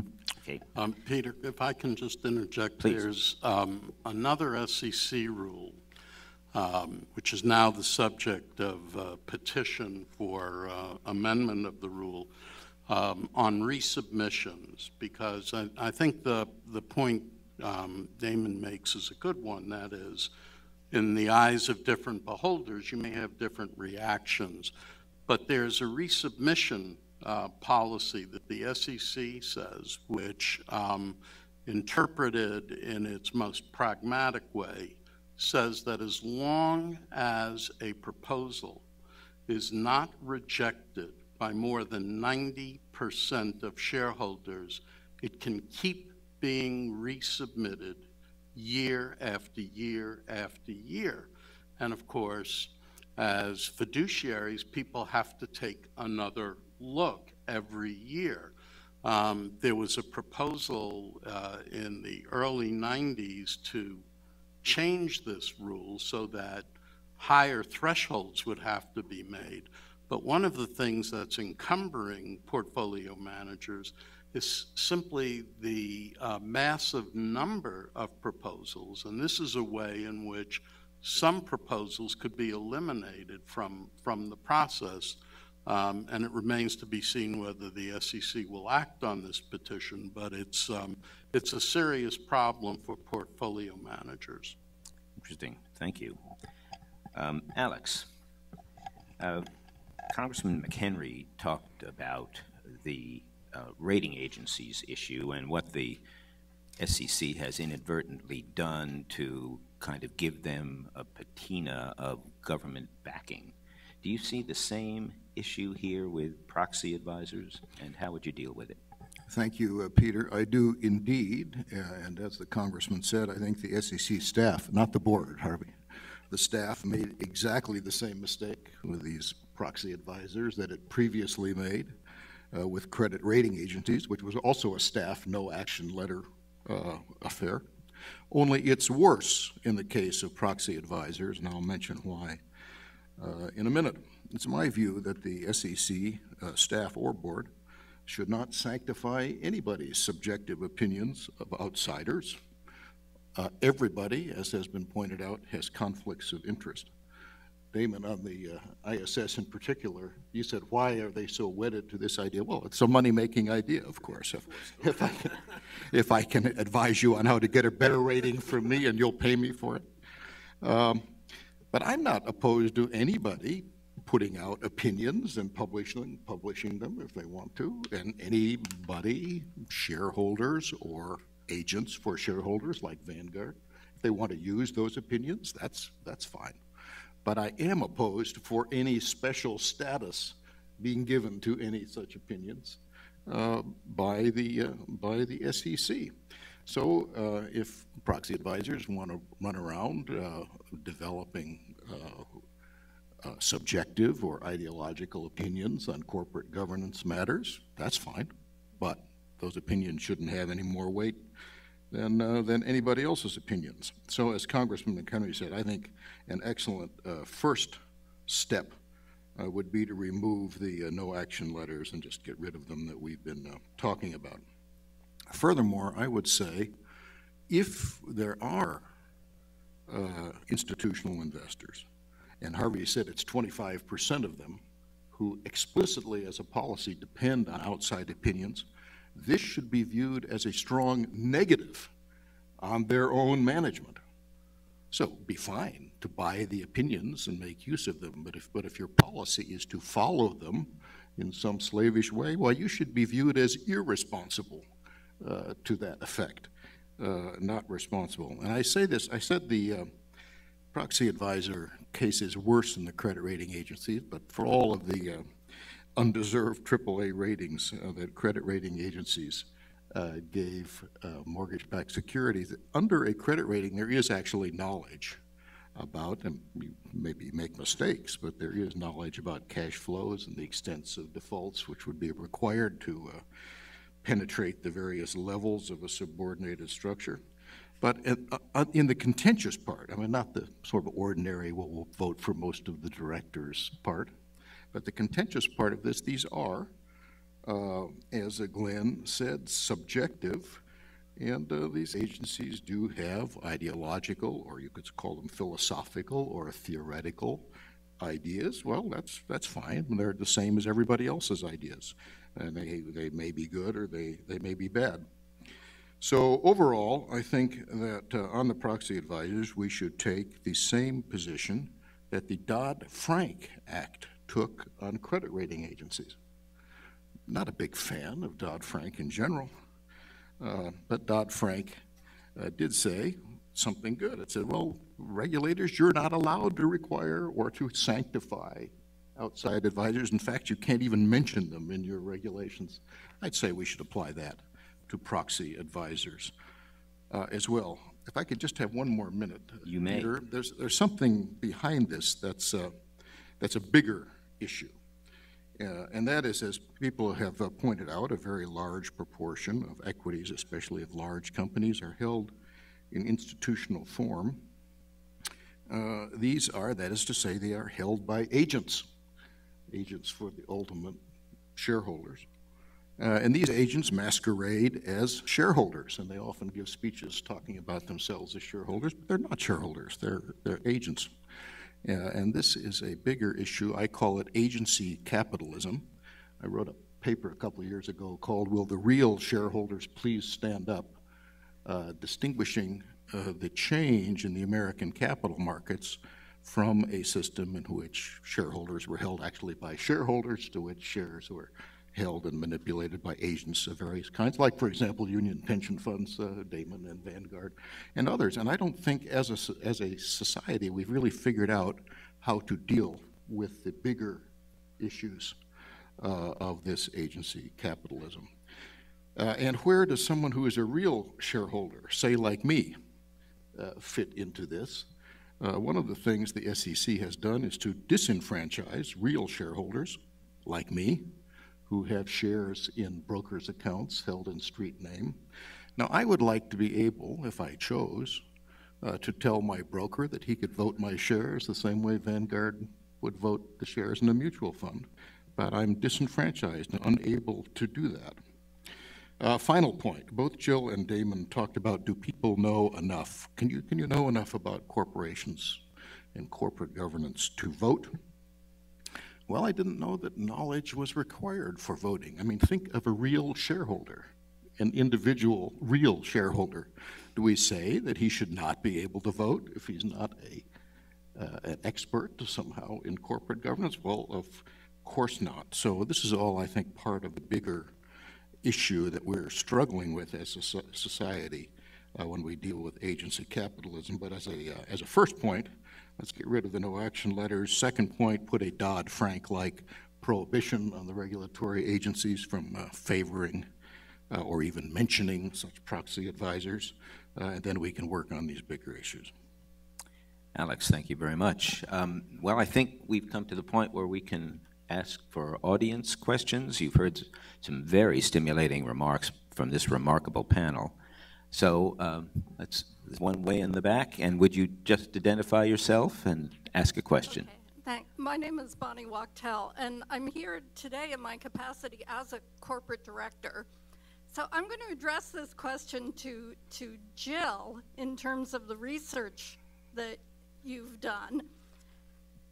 I'd like to see another study done with respect to uh, the power of the proxy advisors, and that study would be either the cost or the perceived cost of having a fight with ISS, even if you win, because I did not get any sense from your remarks about the chilling effect from ISS laying down policies, things like how many women you should have on the board and what you know, all of their little corporate governance undertones to not comply if you think potentially, even if you win, particularly the first round, that, uh, you know, potentially you're going to invite an activist, you might upend the whole board. And if I could have another 30 seconds, I would like to give an example of an ISS horror story that goes directly to the issue of raising capital and that is I sit on a board uh, that is an emerging growth company. Emerging growth companies are not, you know, the one of the major requirements that they get a five-year window on is you don't have to have the internal controls uh, with an auditor's opinion. Uh, this company put right in its perspective it would take a couple of years to do that, but that did not stop ISS from re- recommending a withhold vote for the audit committee we had to, you know, the general counsel, we had to fire, file more papers, spend a day calling 16 different institutions, only four of which would even read the material. Fortunately, they managed to pull the vote on, and I won't extend this question any longer, but for the next panel, I have some comments about how they do compensation. So could you answer the first piece about this of looking at even if the system as a whole could withstand this, the, the the hidden costs and the cost to, you might say, the most vulnerable companies, including small ones that are supposed to be given some leeway? Thank you. It's a great question. Um, and I think you're right. There are huge costs to not just engaging with ISS, but engaging with the investors who are asking questions, who are saying, well, ISS has set out this policy about term limits for directors and what should we do about it. Or ISS is recommending auditor rotation that goes beyond what the accounting rules require. Um, but I think Damon's right. To a certain extent, um, we're in a different place with respect to institutional activism than we were 20 years ago. And you can't put the genie back in the bottle. The SEC rule, in part, was a response to the fact that mutual funds and other institutional investors were viewed as voting lockstep with management lockstep with management either because it was too expensive, because they wasn't, weren't informed, because they didn't want to be bothered, or because they had their own conflicts of interest. We're not going to go back to that world.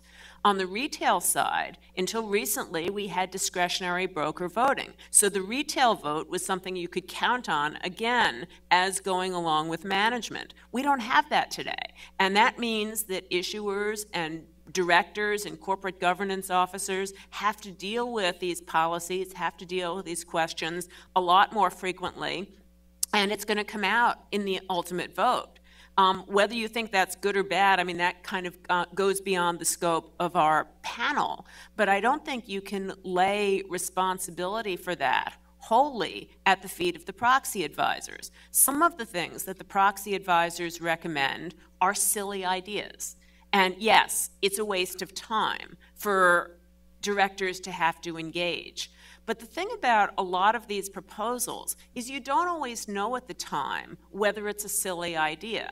And academic research can't always tell you it's a good idea, it's socially valuable to structure your pay in this way, or to separate the chairman and CEO positions, or to set 10 year director term limits. We can't always answer those questions. So ISS puts them out there, and sometimes they fall on their face, and sometimes the institutional community goes along. I mean, we're still having the debate about poison pills and staggered boards after Airgas and Air Products, right? And, you know, we know the position of almost all of the institutional investors on that issue, but, you know, now there's this argument well, you know, didn't it save one company and maybe it's a better idea than everybody thought?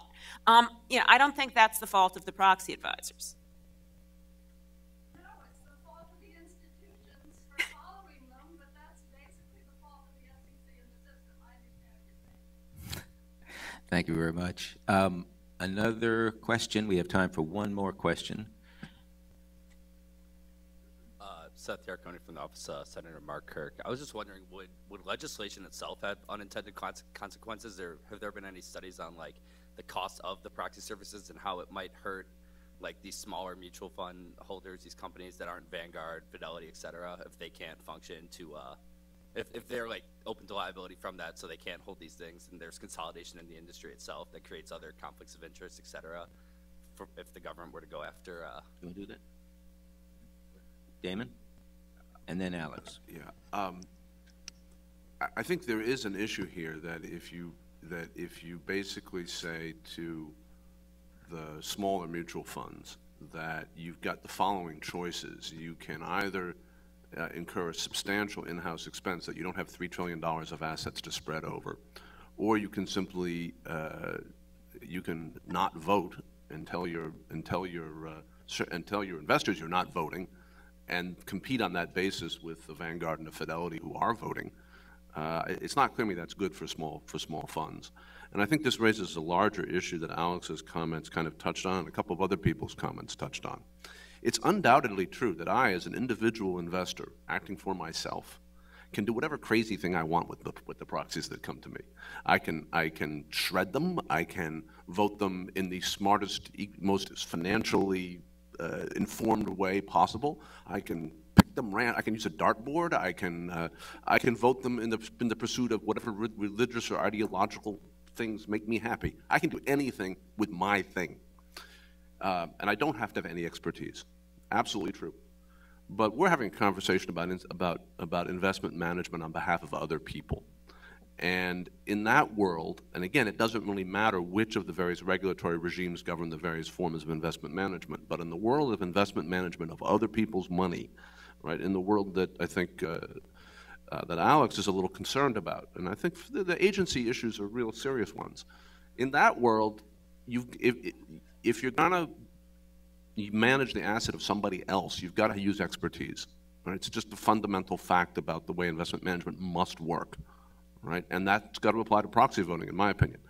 And uh, the the um, that uh, well, let me just stop there. I've used up enough time, Alex. You, you just avoided that. That was really smart. Flamboyant. Uh, Damon and I agree on the importance of this uh, divide. If, as a uh, agent for somebody else, you have to follow a prudent man rule. So, the- to answer the question, uh, if you didn't have a special blessing from the SEC, that doesn't stop from anybody from wanting to be in the business of publishing opinions about how you should vote. And if they can talk somebody into buying their opinions, uh, more power to them. Uh, But they shouldn't have any special blessing or special haven or safe harbor for using those issues. They ought to stand or fall on their own.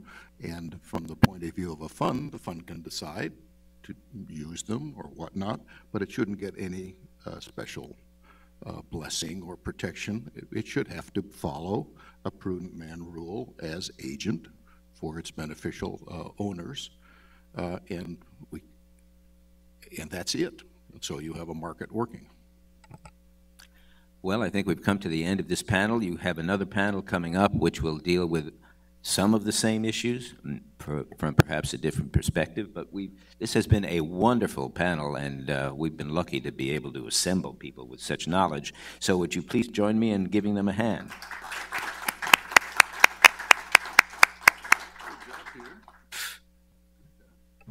Thank you, Peter. Would the next panel come on up?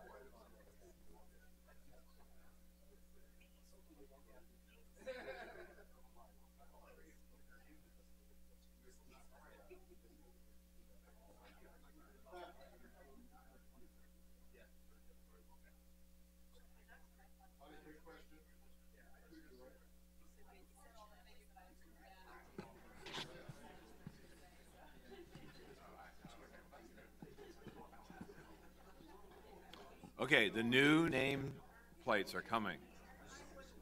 Don't worry. You, you can just sit down and we'll, we'll move a nameplate to you. Don't worry.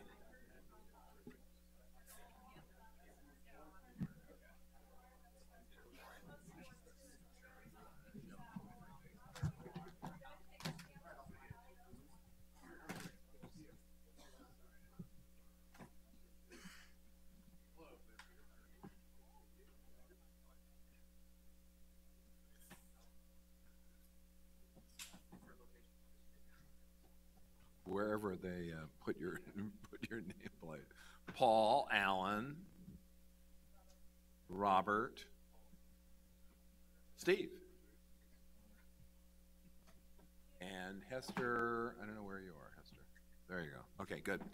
Um, I know that some people are taking a break, and that's okay, but we we don't have that much time, so I'm going to get started right away.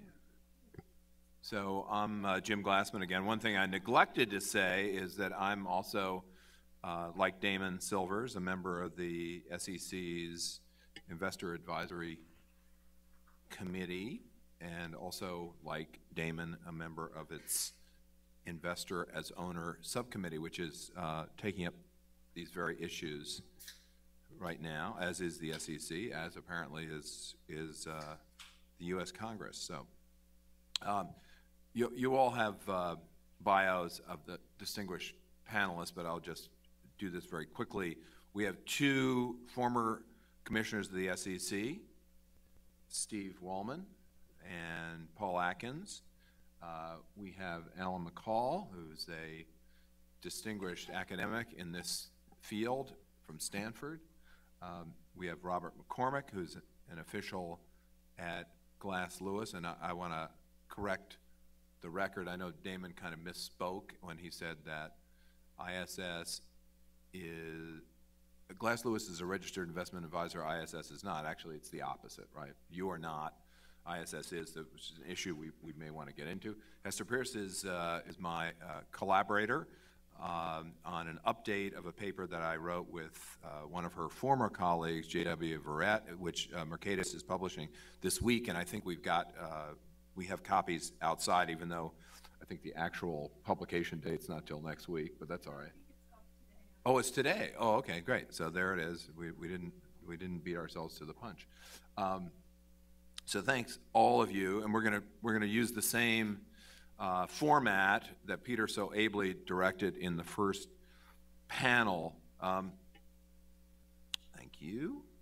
So I want to I actually want to go to Steve first, and I know that one of the questions I want to ask Steve is about exactly what these regulations would look like if we if we if we change things. But before we get to that, we are very lucky because uh, Steve Wallman is not only former commissioner of the SEC, he is also the founder and CEO of Folio FN, uh, and he's also the founder of an organization called Proxy Government Governance, on whose board I advisory board I, I once sat, and proxy governance is no more, and it entered this, this very field and, uh, and did not survive. And so uh, there's been a lot of talk today about this duopoly. It's not exactly a duopoly. There are others in the area, in, in the field, but it really is dominated by two firms, and especially by one firm. Can you just tell me, Steve, why things didn't work out for proxy governance? What, what, what is the nature of this market? I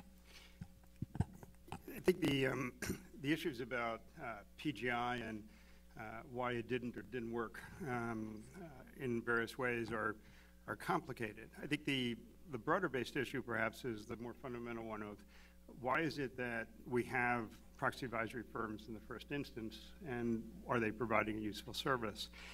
I was a little bit confused perhaps by, by some of the, the panel before us on what the actual question is that I think people are trying to resolve. Uh, there was at one point an issue of whether or not there is some kind of conflict of interest that needs to be regulated. Uh, there's a second question of are they useful? There's a third question of do people follow them anyway? There's a fourth question of are they smart in terms of what they're doing and leading different kinds of thought processes in corporate governance. Um, I'm not sure any of those are particularly useful questions to necessarily have a panel debate. Uh, because I think it changes over time. Um, they have been more useful at various times and less useful at other times. Uh, some of their vote recommendations are, I think, quite thoughtful and well received and uh, very well researched. Others are perhaps less so. Uh, I think the real question, though, is what kind of regulatory structure have we put in place that requires certain things that may not be what we think is the right outcome or the best outcome? And you heard a little bit of that earlier with the question of uh, is there a market solution for all this? And why is it that we have a duopoly? The, the easy answer, I think, is pretty clear. We've put in place a regulatory structure, which, by the way, I was a great supporter of and fan of uh, a number of years ago as well. My mind has uh, changed somewhat over the years in terms of better understanding unintended consequences. I think once you become a regulator no more and you actually start to go into the real world and actually do things, you start to see how all the best of intentions aren't necessarily going to be the best of results. Uh, and what uh, we discovered was, and PGI discovered this as well, for an awful lot of folks, they use the proxy compliance firms as, in essence, a compliance shield, an insurance, if you will. And it is much, much less expensive to pay 15,000, 20,000, 25,000 a year or less in some cases and more in other cases, much more in other cases.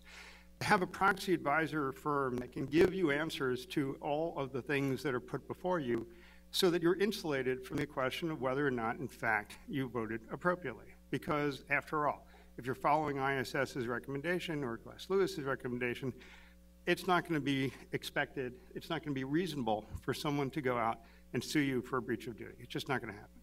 And so, what does occur is that if you're a smaller firm, and if you have a regulatory structure that seems to imply that you need to at least look at every one of the thousands of votes put in front of you, there is no question that outsourcing is the only thing that makes any economic sense. It doesn't matter whether you take it out of the rules, it doesn't matter whether you rescind the no action letters, it's just not going to matter. There is no intelligent mutual fund, no thoughtful investment advisor that's going to sit there and say, My choice is I either hire 15 internal people who will barely be able to really keep up and understand what's going on without, in any event, hiring an outside firm to give us the data, to give us the information, to distill it down, to put it into a mechanism so we can actually look at it one by one. Or I can simply outsource it to that firm in the first place and just have them do it all. And yes, if they bring something to my attention or if I have a particular view on a particular matter, I may decide to vote against what they're recommending, but generally speaking, I'm going with them. That is the only economically rational way for someone to approach this issue. If you get big enough, as Vanguard is, as T. Rowe Price is, as BlackRock is, et cetera, you can have internal people as well. But to expect that if you have a rule that seems to imply that you must vote, or at least look at everything that you must vote, and the notion, for example, of saying, well, you don't actually have to vote. You can make a decision to abstain on a particular matter.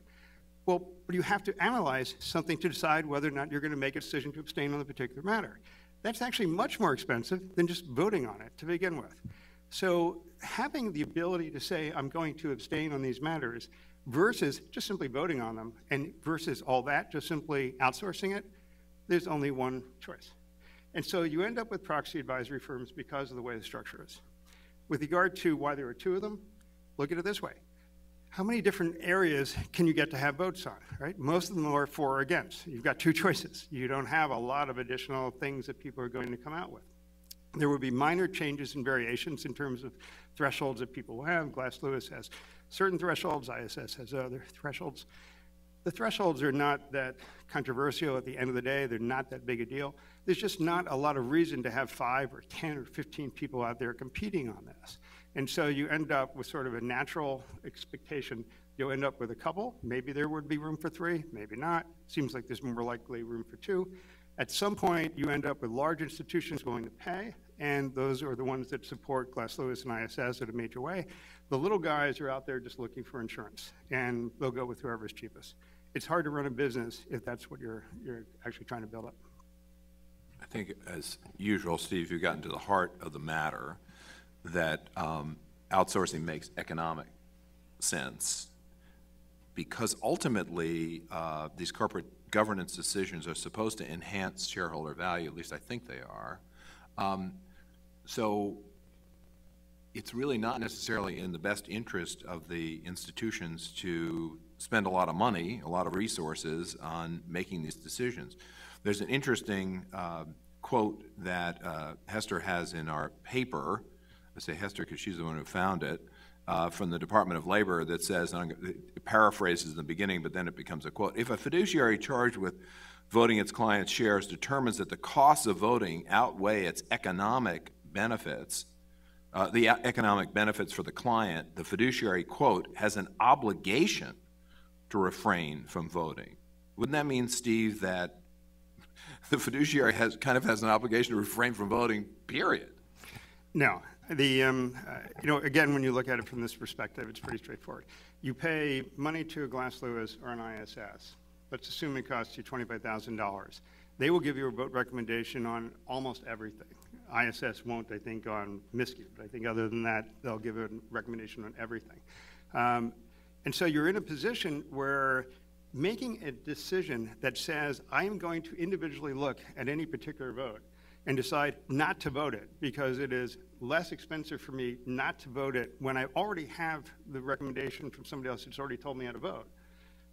I, am sure that there are some academics somewhere who come up with a mechanism for figuring out how that could work but I think that's even beyond Jill. I, I, don't think anyone is going to be able to make that kind of rational decision. It's just too expensive to decide not to vote when you've already paid to get a recommendation on everything that there is to vote. I think the, the solution to this is a little bit different. I think if you make everything important, nothing becomes important. And it makes sense just to outsource everything. In order to have a real solution to this, you need to change what it is that you're requiring people, in essence, either explicitly or implicitly, to vote on. The way to do that isn't by saying you still have to look at everything and then decide whether or not to vote or not vote on it, because that's the same as saying that they look at everything. What you have to do is put in place a different rule. You need to have something that says, for example, if you own more than X hundreds of millions of a company stock or 100 million, whatever threshold you want, or if it's more than 1% or 2% of your portfolio, then yes, that you have to vote on. Everything else, we explicitly are telling you you don't have to vote on. And the problem with the securities laws, which is a much bigger issue than this panel, is that they no longer are principles based. They're no longer securities laws that basically say do the right thing, and as long as you are well intentioned and you thought it out, it's okay. Securities laws now have been check the box. They're very much rules based. They're very much you must do these things. And if you don't, you will be potentially liable for it, whether it's a third party suing, whether it's the SEC. And so you're in a position where, unless you explicitly give people relief, unless you explicitly say you only need to look at these votes, these companies, this size, this part of your portfolio, you're back to the same rule you've got now.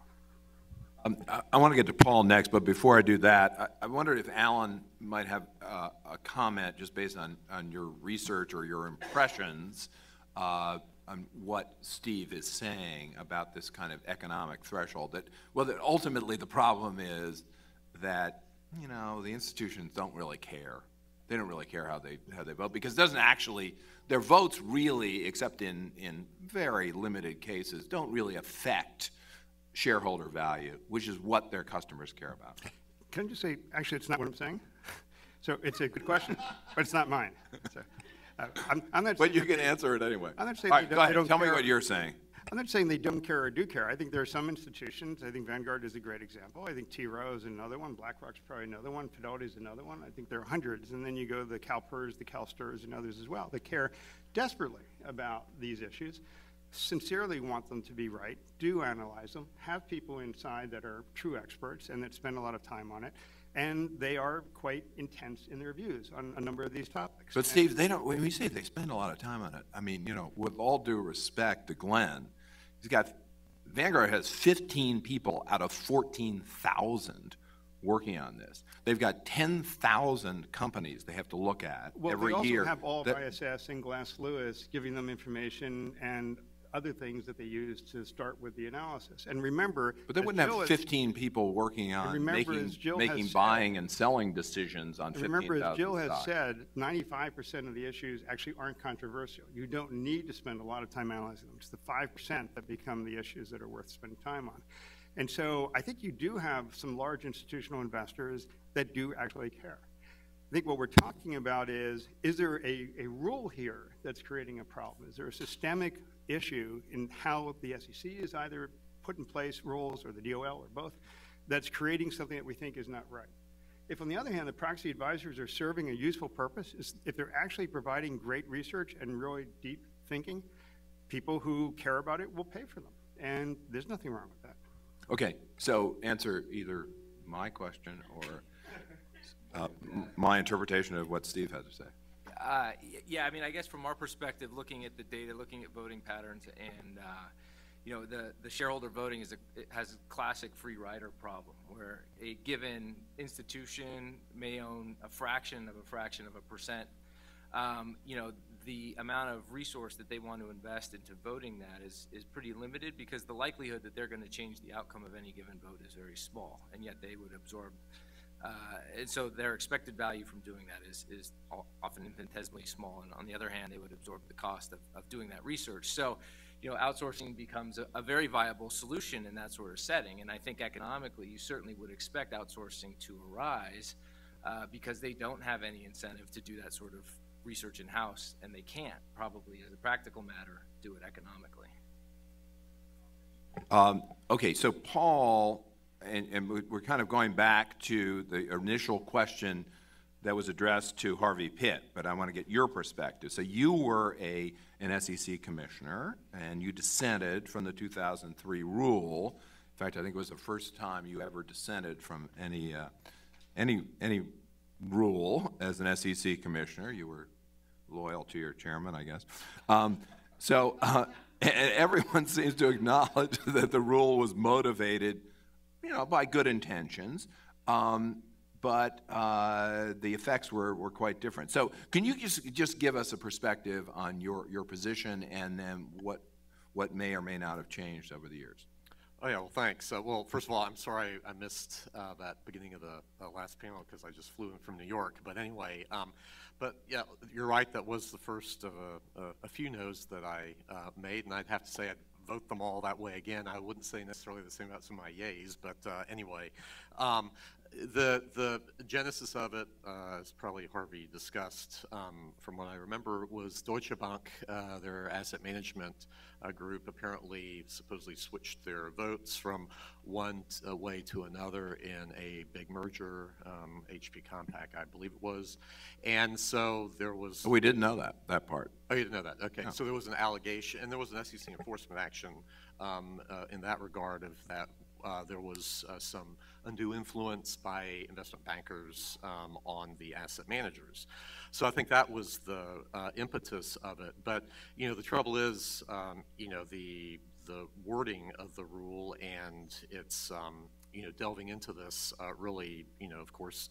I don't think came out uh, right way, and um, it, it created what we're talking about here with respect to the proxy advisory firms.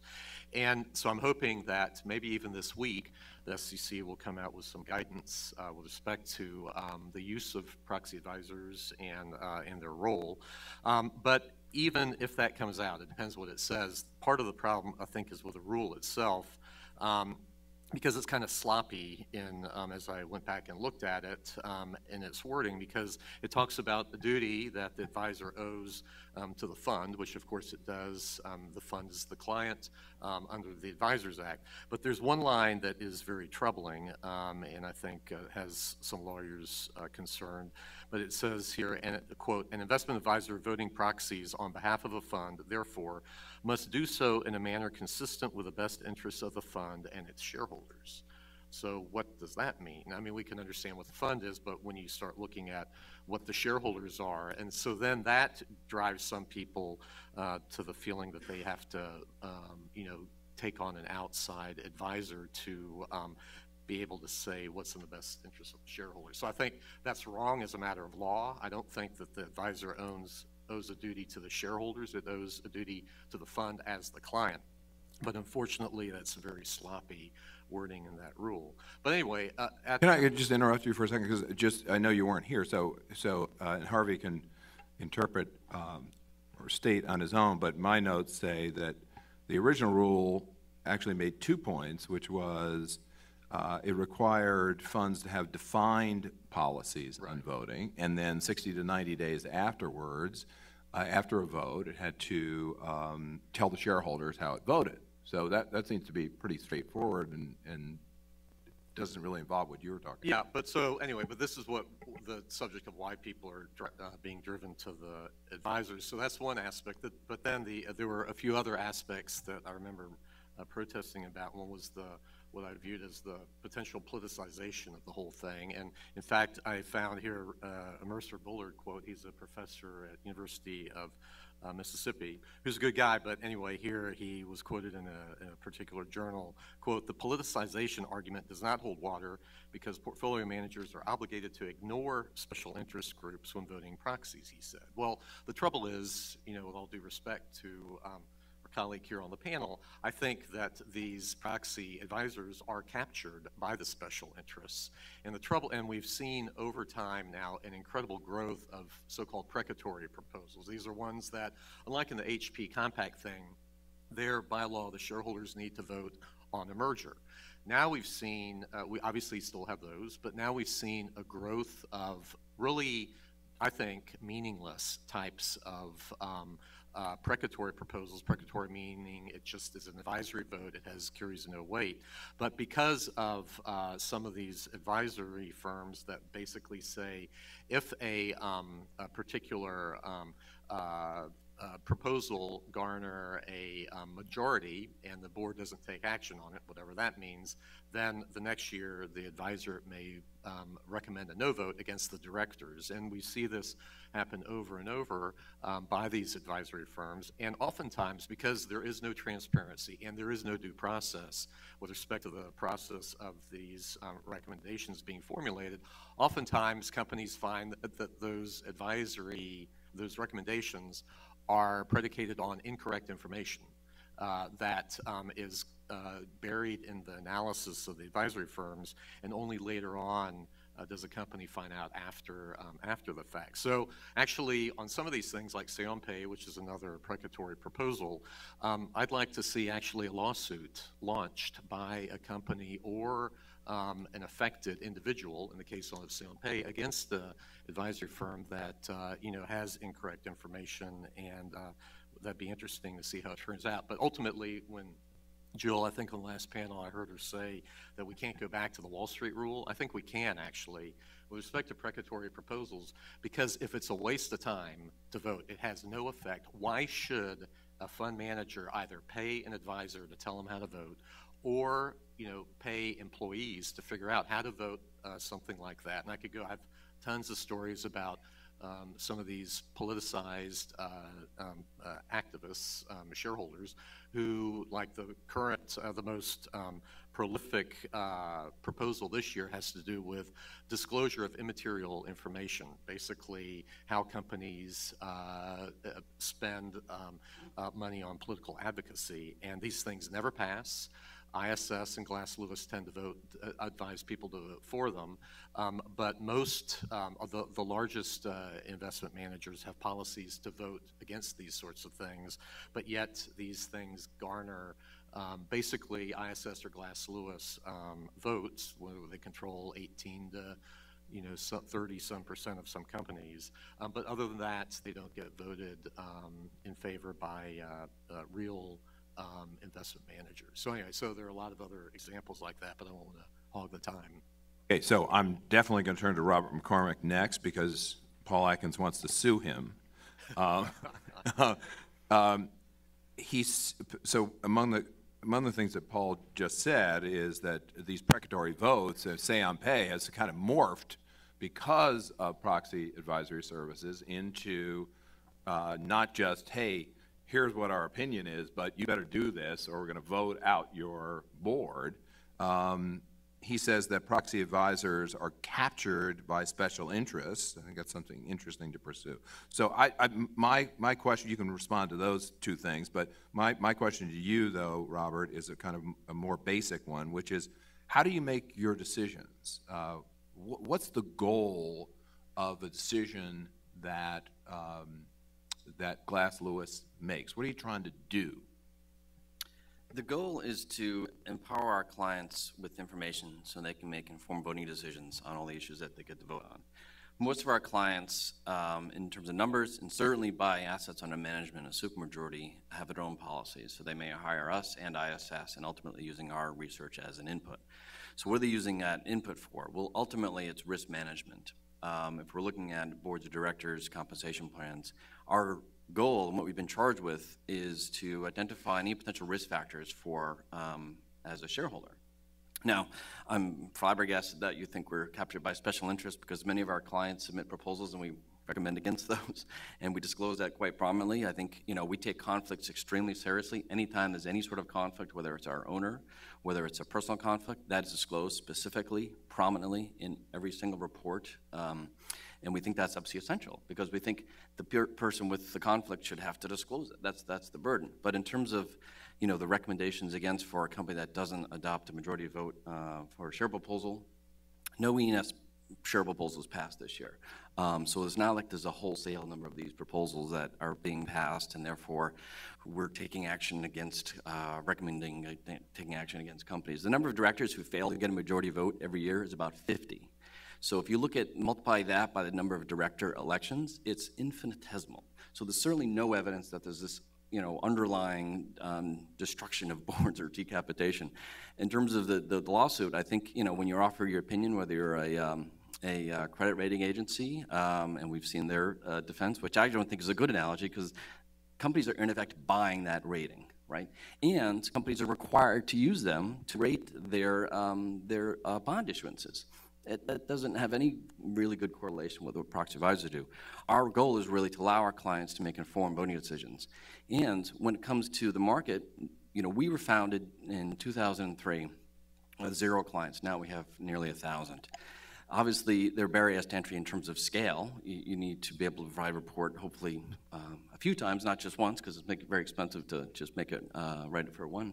But we're obviously evidence that there are limited barriers entry and, and uh, there are other firms out there. And the success, we think, is because the approach we've taken is not one size fits all, which is a, a quick knee jerk reaction thrown against proxy advisors with no evidence, uh, as well as some of the other comments you made. With due respect, I, I'm not sure where any of this is coming from, other than as a, a quick way to overestimate the purported influence. You heard Jill say it's 6 to 10%, and then there are others you know, reports and, you know, where's the evidence of that?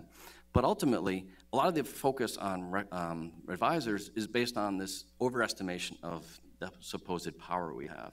And that has really, um, I think, driven some of the analysis in this case. Um, there's, unless you're inside that individual's head, you don't know why they're making that voting decision. I worked at Fidelity for nine years, and um, we used uh, ISS, we used Glass Lewis, we used uh, a whole bunch of different um, uh, research providers, and we ultimately made every decision ourselves. We touch every single proxy. Now, if it's a declassified board proposal, that takes two seconds to make that decision, right? If it's a HP Compaq decision, that could be very different because you have investors, uh, investment managers lining up on different sides of that. Um, so those decisions take considerably longer. So I think there, um, for the most part, are, what we've seen are, is a progression of clients. Clients, I think maybe 20 years ago, just tend to vote with management. Then there was a progression to um, look to outsource some of that uh, data collection um, as you know clients grew. And now the um, situation is, as you heard Glenn describe, is investors make up their own decisions. They use um, uh, input from advisors, and um, I think there's, there's, there's, little evidence that um, there's uh, the vote recommendations are causing the vote results.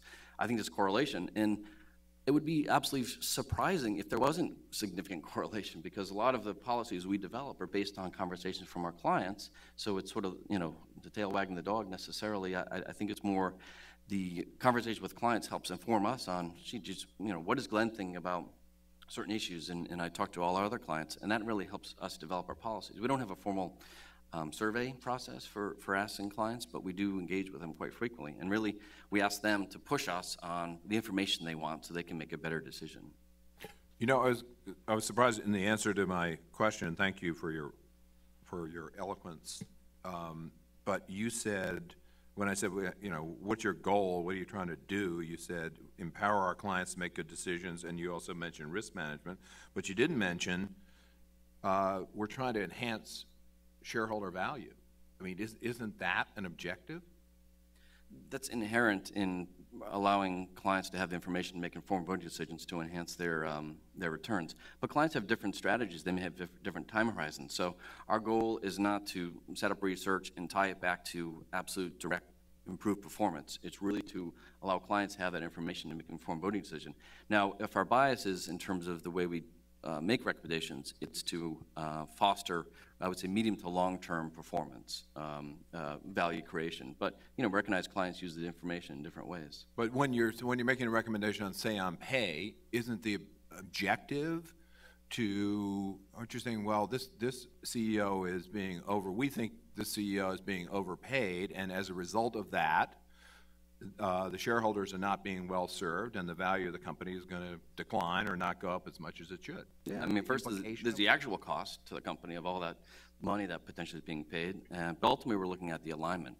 You know, I get pushed by the press sometimes. That, I, don't you think this money is too high? I said, no. It's really is it aligned with performance, and that's really what we look at. So our goal is um, to provide information both quantitatively through our performance model um, and qualitatively in terms of like what are the specific aspects of this company that we think make sense for a good incentive program for shareholders, both to attract, retain and executives, and also that is really ultimately tied to performance. And that's really the goal of looking at say on pay.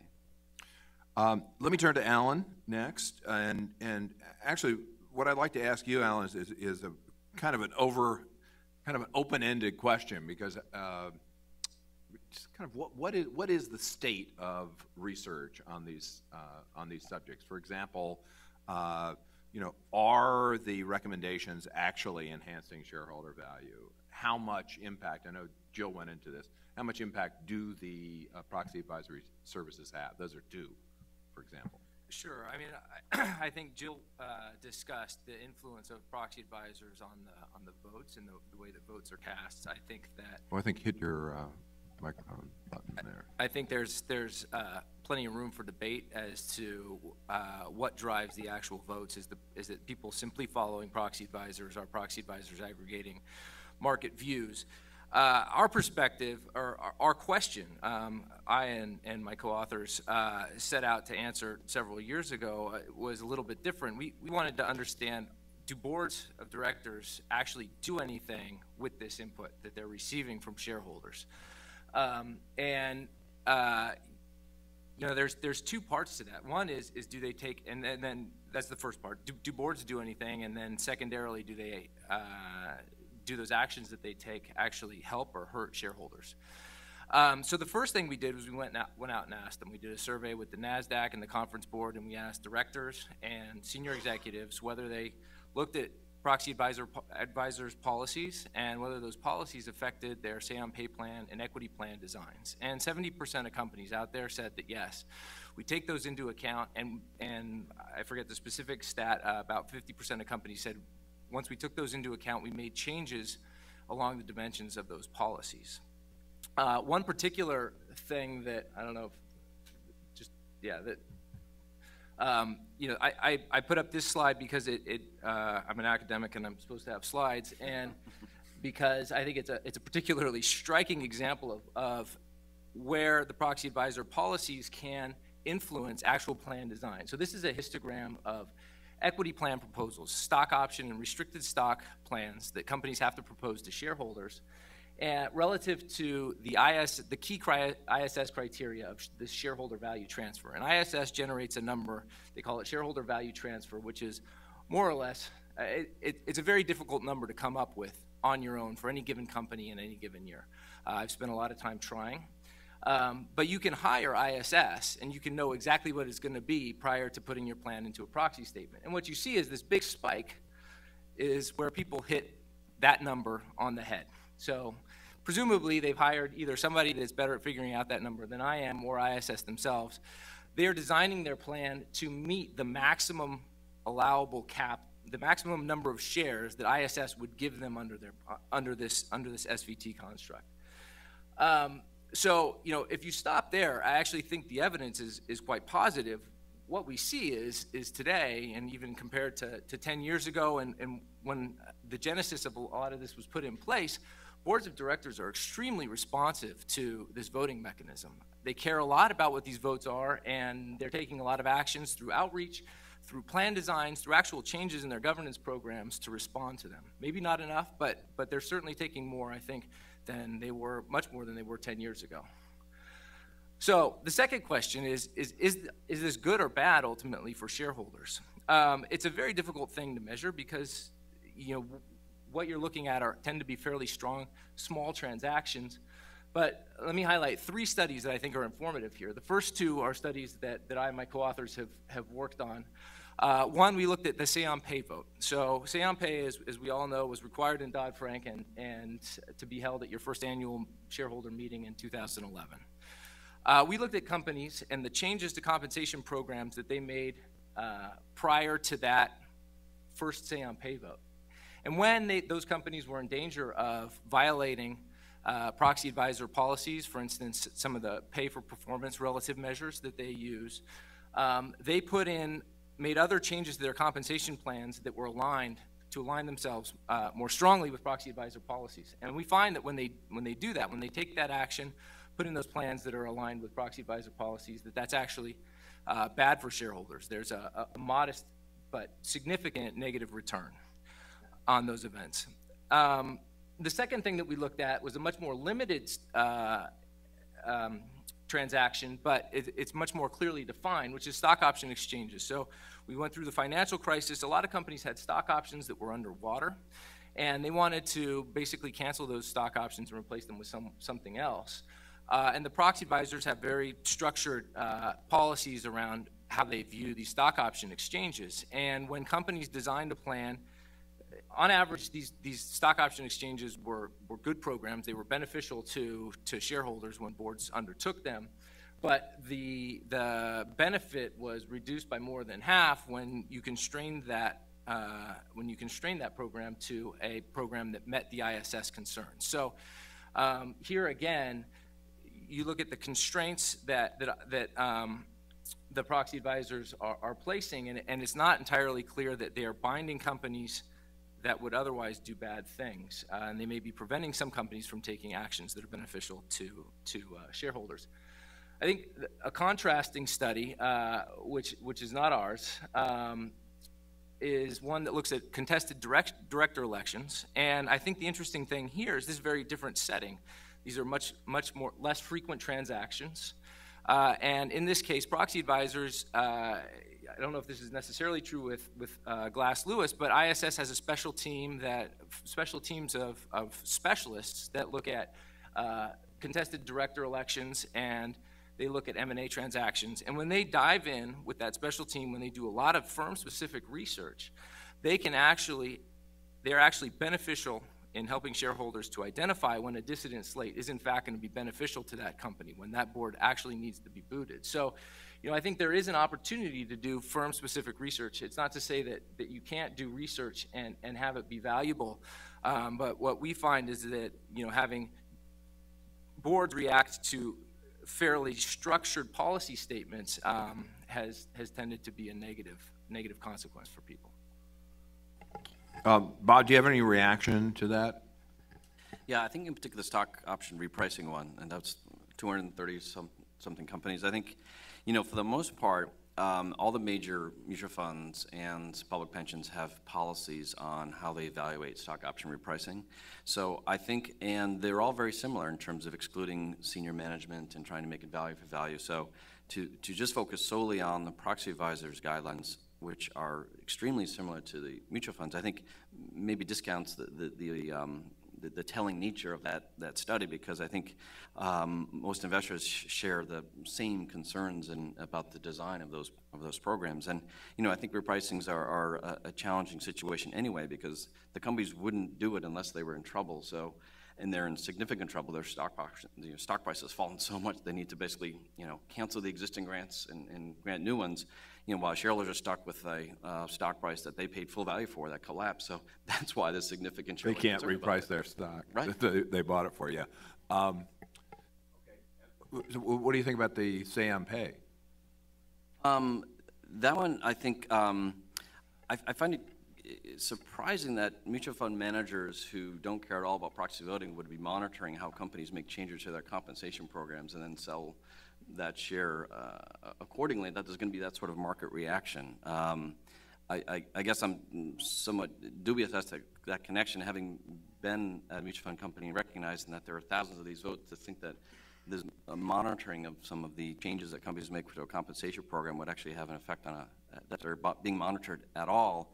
Uh, I, I guess I'd be pretty surprised, but I, am not the expert on it, so I haven't delved into the data. Do you do research or do you fund research on these? These seem to me to be essential questions. You know, when you're making a recommendation, is it going to enhance shareholder value or not? And we can all kind of guess, but actually, and I know that this kind of research is difficult to do, but do you ever do you fund any of it or do any? We don't. We don't fund it. Um, we're, we're not that large yet but uh, we do provide uh, data to academics who study these sorts of issues, and, and uh, we have done so in the, in the past. Um, and we think it's essential to look at that because when we look at, say, independent chairman, someone mentioned that earlier, the academic evidence is all over the map on that one. And when we discuss that issue in our guidelines and our proposal analysis, uh, we lay that out for our clients so they get a sense, geez, the data is really inconclusive on this, but then we sort of fall back a bit on the philosophical, well, you know, what is the role of the board? I don't want to go into too much detail. So we do look a lot at academic evidence on these sorts of things, but we haven't necessarily commissioned any ourselves. Okay, I want to move to Hester before we get to the floor. And uh, Steve, right in the beginning, brought up the issue of how how do we regulate this? What, what, what should the policies be? That is the essential question. And uh, Hester, sort of in, in your work and in the recommendations in the paper, uh, what what are what, what are your suggestions on what the policies should be? Well, I think we do need to go back um, a little bit, and we need to to ask the question. And these are questions that have been raised today. But is it really in the interest of a lot of these people to be spending any, any shareholder resources, any um, resources on voting? And in many cases, it may not be. And I think that, I agree with Steve that you can't have a, a vote by, by vote decision about whether to abstain, but you might have a policy um, that you are going to vote with management um, in all cases, in certain cases, and that should be up to the individual fiduciary to set that policy for itself. I think we're in the situation we're in now because there's a real belief among fiduciaries that they have to vote. And so what are they going to do? They're going to end up relying on outside um, advice um, to vote because that's the safest thing. It is, that's a, you're buying yourself a little protection if you can just outsource it to someone else. Um, and so one thing you need to do is, is remove any mandate to vote, I think, and you need to remove um, all these extraneous votes. Dodd-Frank added the say on pay vote, which was, needless to say, unrelated to the financial crisis, um, and it, uh, one of the many provisions of Dodd-Frank they could be eliminated. But encouraging all these votes is a waste of a lot of people's time. So, so getting rid of that, um, I would say, is the next step, and just really getting getting fiduciaries to focus on what makes sense for them in terms of voting. You know, uh, Har- Harvey Pitt had said uh, earlier in describing the original rule that what the SEC was asking was that uh, mutual funds explain what their policy is. So could you imagine a mutual fund saying, you know, our policy is that in all cases, we vote with management. And if you don't like it, uh, you know, go to another mutual fund. I mean, there are lots of options, and there was. I mean, is that a legitimate option? I think it's legitimate, and there was language in the original rule that sort of alluded to the fact that you don't have to vote. So um, I think that that needs to be taken seriously. One concern I have with some of the recommendations for improvements out there is, you know, okay, let's get these proxy advisors to be more transparent about their methodologies and about their conflicts.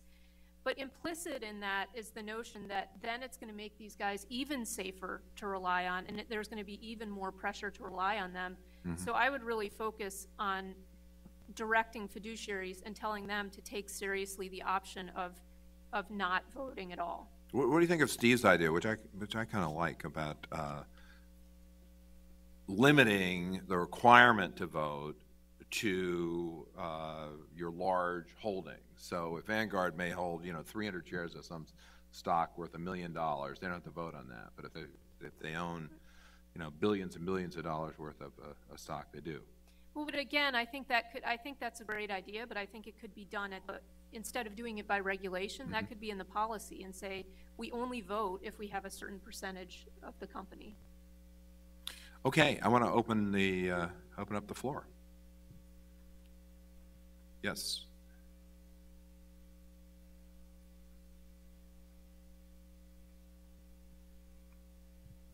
Benjamin K., U.S. Treasury.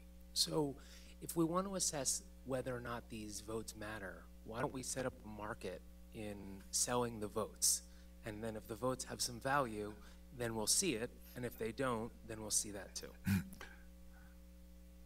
Paul. Well, that's a great uh, question, and, you know, indeed, why not? Because if the Department of Labor and other people say it's an asset, then why can't you alienate it? Now, the SEC, though, unfortunately, the staff, um, uh, it's, I don't know that it's actually a, a rule, but the staff has basically said, no, no, no, you may not do that. Um, and so it's, you know, inalienable. And in fact, going back to the Wall Street rule and other things, um, fiduciaries of institutions can outsource to these proxy advisors how they're going to vote, and they can almost slavishly follow it. I mean, they do in practice, but in, in uh, you know, in theory, they, they um, think about it.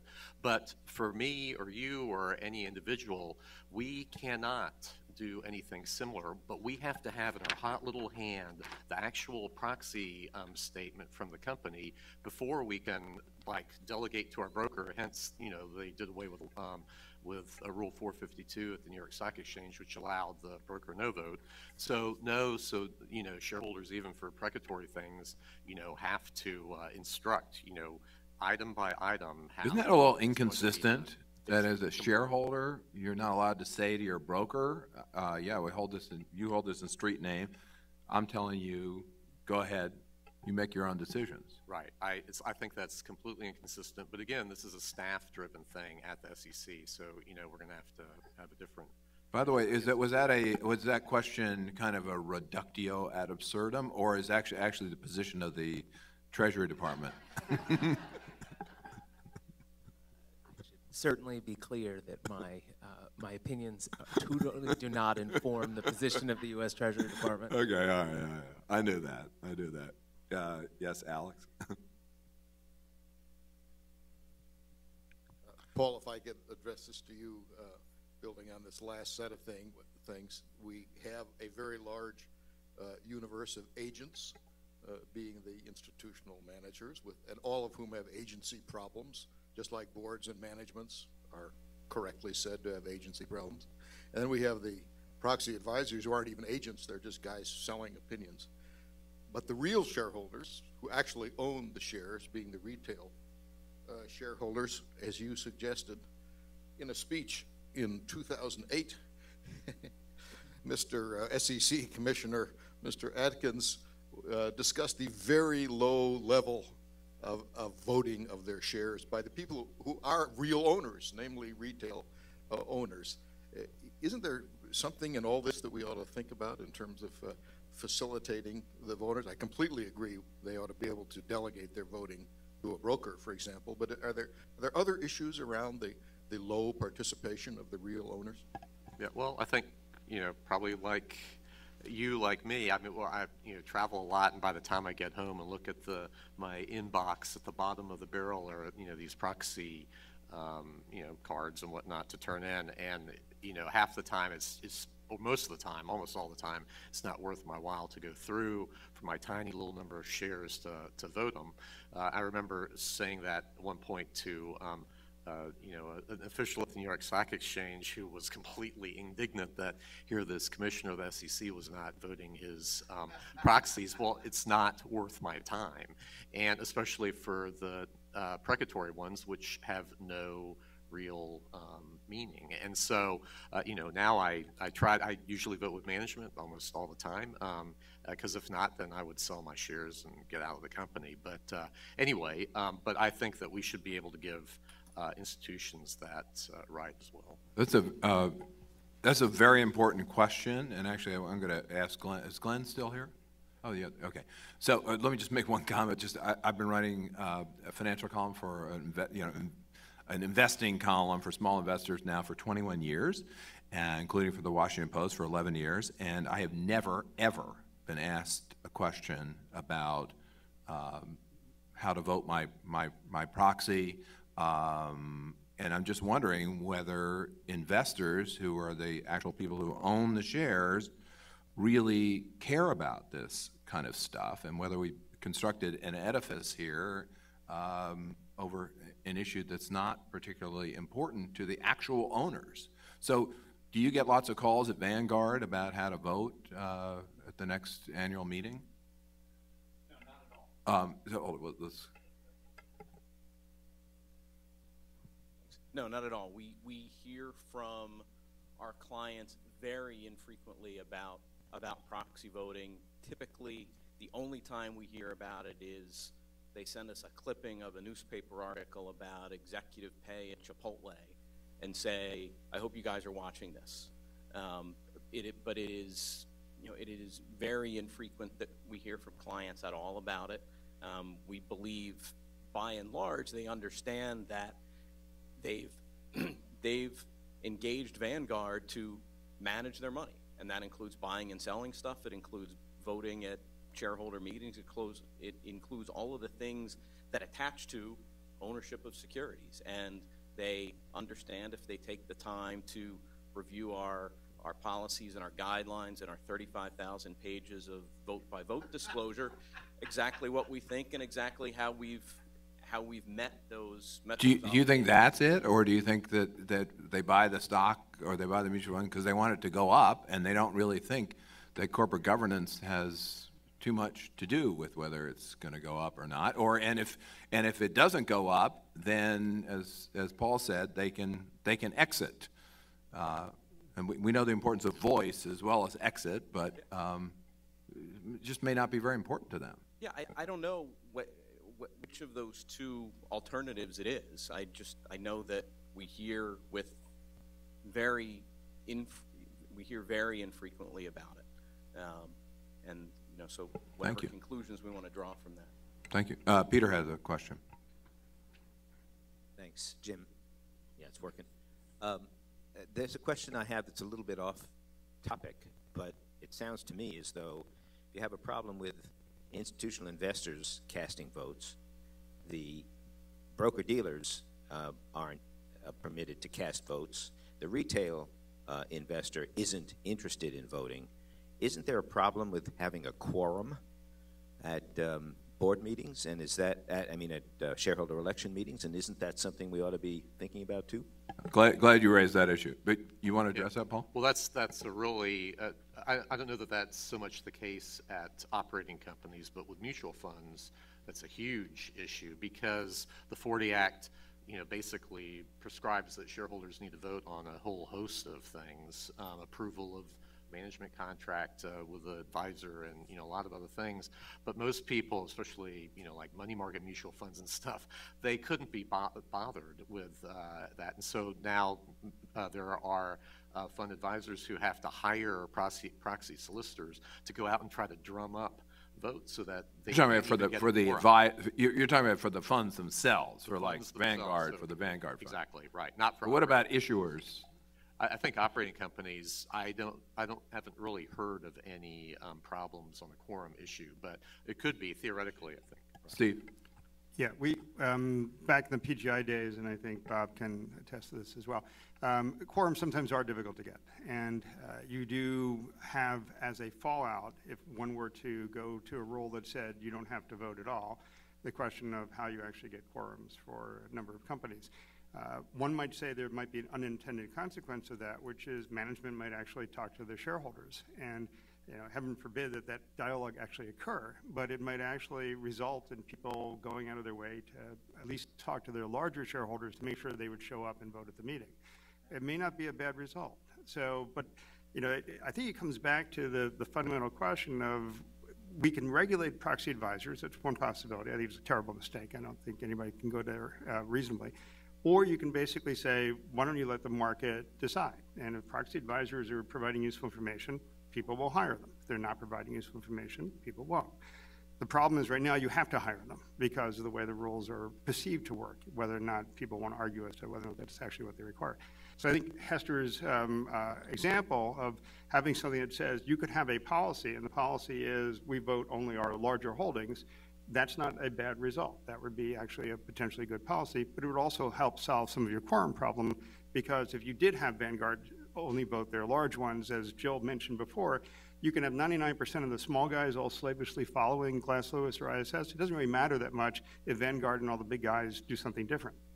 It also works that same way for quorums. If Vanguard and the big guys all decide that they're going to vote their major holdings, there will be quorums. You will get, in fact, the quorum. Uh, so I don't perceive Vanguard uh, withdrawing from the field altogether. Maybe they would. Uh, my guess is they won't. My guess is T. Rowe won't, Fidelity won't, et cetera. Uh, but I think if you can get them to focus on the 200, 300 companies that actually matter to them instead of the 3,800 companies they happen to touch, uh, you might actually get not only heterogeneous views in terms of corporate governance, but a much better debate in terms of corporate governance as to what really does matter, what really is the right vote for something, because then they would actually care. Because they've got people who could focus on a couple hundred or 100 or 50, as opposed to trying to focus on 3,800, which means you're not going to get the same level of analysis.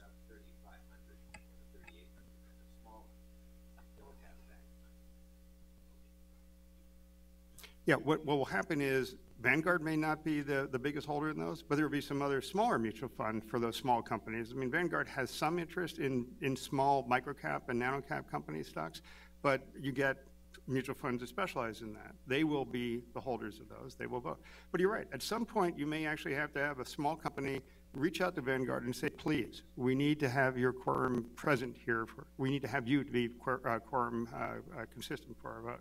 And they may actually have to talk to Vanguard and try to get them to show up, which doesn't seem like a terribly bad idea. Thank you for your skepticism about regulation, and that raises one other question I I just wanted to ask Bob. So, um, and Damon brought this up, uh, ISS is a registered investment advisor, and you, Glass Lewis, is not. Is there a reason for that? We, uh, when we launched, we were, it was before my time, we actually did register as investment advisor. It was um, something that we saw that ISS was, and we felt that it was uh, something that we needed to be. And then on the advice of outside counsel, um, uh, she counseled us that not only did we not need to be, but we really shouldn't be because we didn't really fit the um, definition of investment advisor in that we weren't making any buy or sell recommendations, we weren't custodying assets, we weren't making recommendations on um, uh, even from a, a pension type uh, program. Um, but we did keep what we thought were the most salient features of that in terms of um, uh, code of ethics and prior trade clearance and that, that sort of thing and, and duplicate reporting. So I think, you know, from our perspective, I think um, regulation is, is um, um if, if, appropriate, can be really helpful. But, you know, some of the concerns that are leveled at us are still leveled at uh, ISS, and they've been a registered investment advisor. So that clearly hasn't resolved the conflicts or, or quality or some of the other concerns that people raise. Um, what we think is um, a better solution is more of a market-based solution. Um, kind of building off of what what, um, what we've heard is um, that uh, you know using a code of best practices, and it's something that we've worked with other groups, including ISS in Europe, to develop this, and uh, really building on some of the research found in uh, Canada and Europe where they didn't find a market failure. They didn't see a need for regulation. They said, well, let's have a, a code of practices that groups can um, um, help design and then get with input. And then um, ESMA is going to revisit this in a couple years and see if it's working or not. And we think that's probably a better solution. Bonnie, you always have long questions. You, you, if you keep it down to five seconds, because we're going to really end at noon. okay, 10 seconds. All right. One for Mr. McCormick, one for Mr. Wallman. They're both 10 seconds. Mr. McCormick, uh, while you think about this, does Warren Buffett have a problem with his compensation? He takes a modest salary, it's not incentive based, he owns 20% of the company. Yes, I've run into that situation also. Now, to Mr. Wallman, in terms of fixing this, can we defer to, can, if I were a mutual fund, I'd want to say, I want to vote with Vanguard, or I want to vote with Fidelity or BlackRock, whichever is my favorite. Do you think the rules could be shaped potentially to allow that? No, only can be, but uh, in fact, at PGI, we had this technology to do precisely that. And so you could actually say, I want to vote with these folks if, in fact, they publish what they were going to do. So you, CalPERS, for example, would publish in some cases in advance what it was intending to do on a vote. And so you actually could do that. Technology allows you to do a lot of different things. You can blend them, you can do all sorts of things like that. Uh, just the last comment then on, on, on that part is uh, one, one concern with having policies that people put in place that required or put in place how they would vote all sorts of different issues also made this very homogenous. It also became something where people would say, for all these kinds of things, you know, splitting the board, uh, the chairman and the CEO, we vote yes, or we vote no. That's thoughtless, right? Because in some companies, you actually want to say, we think these positions should be together. In other companies, you may say, we don't think they should be together. But again, because of this notion of sort of a policy or a code that people had put in place, and the fact that you were then going to do it across 3,800 companies, you can't spend the time to actually look at any particular case. And so, unless it's brought to your attention, there's something specifically controversial about it. Uh, generally, you just vote as a policy would be established. So we actually built the technology to do that, which is what people wanted. And an awful lot of people did what we call auto vote. Uh, they uh, we'd feed in the information, the data would go in, and the technology would take care of how they voted. That just doesn't sound like great corporate governance to me at the end of the day. So I'm going to intervene on the uh, on the Warren Buffett thing. You can discuss that afterwards. Um, thank you all so much. This has been a great morning. Um, we brought together some incredible expertise. The only thing I feel bad about was everybody didn't get that much chance to to talk, uh, but we but we really do appreciate uh, the time that you've all devoted to this, especially those of you who come from from uh, distant lands. And um, if you'd like to watch a rerun, you can do that by going to the AEI.org site, um, and you can certainly read uh, read the the Hester Jim paper or uh, any of the great work by the by many of the panelists here. So thank you all for coming.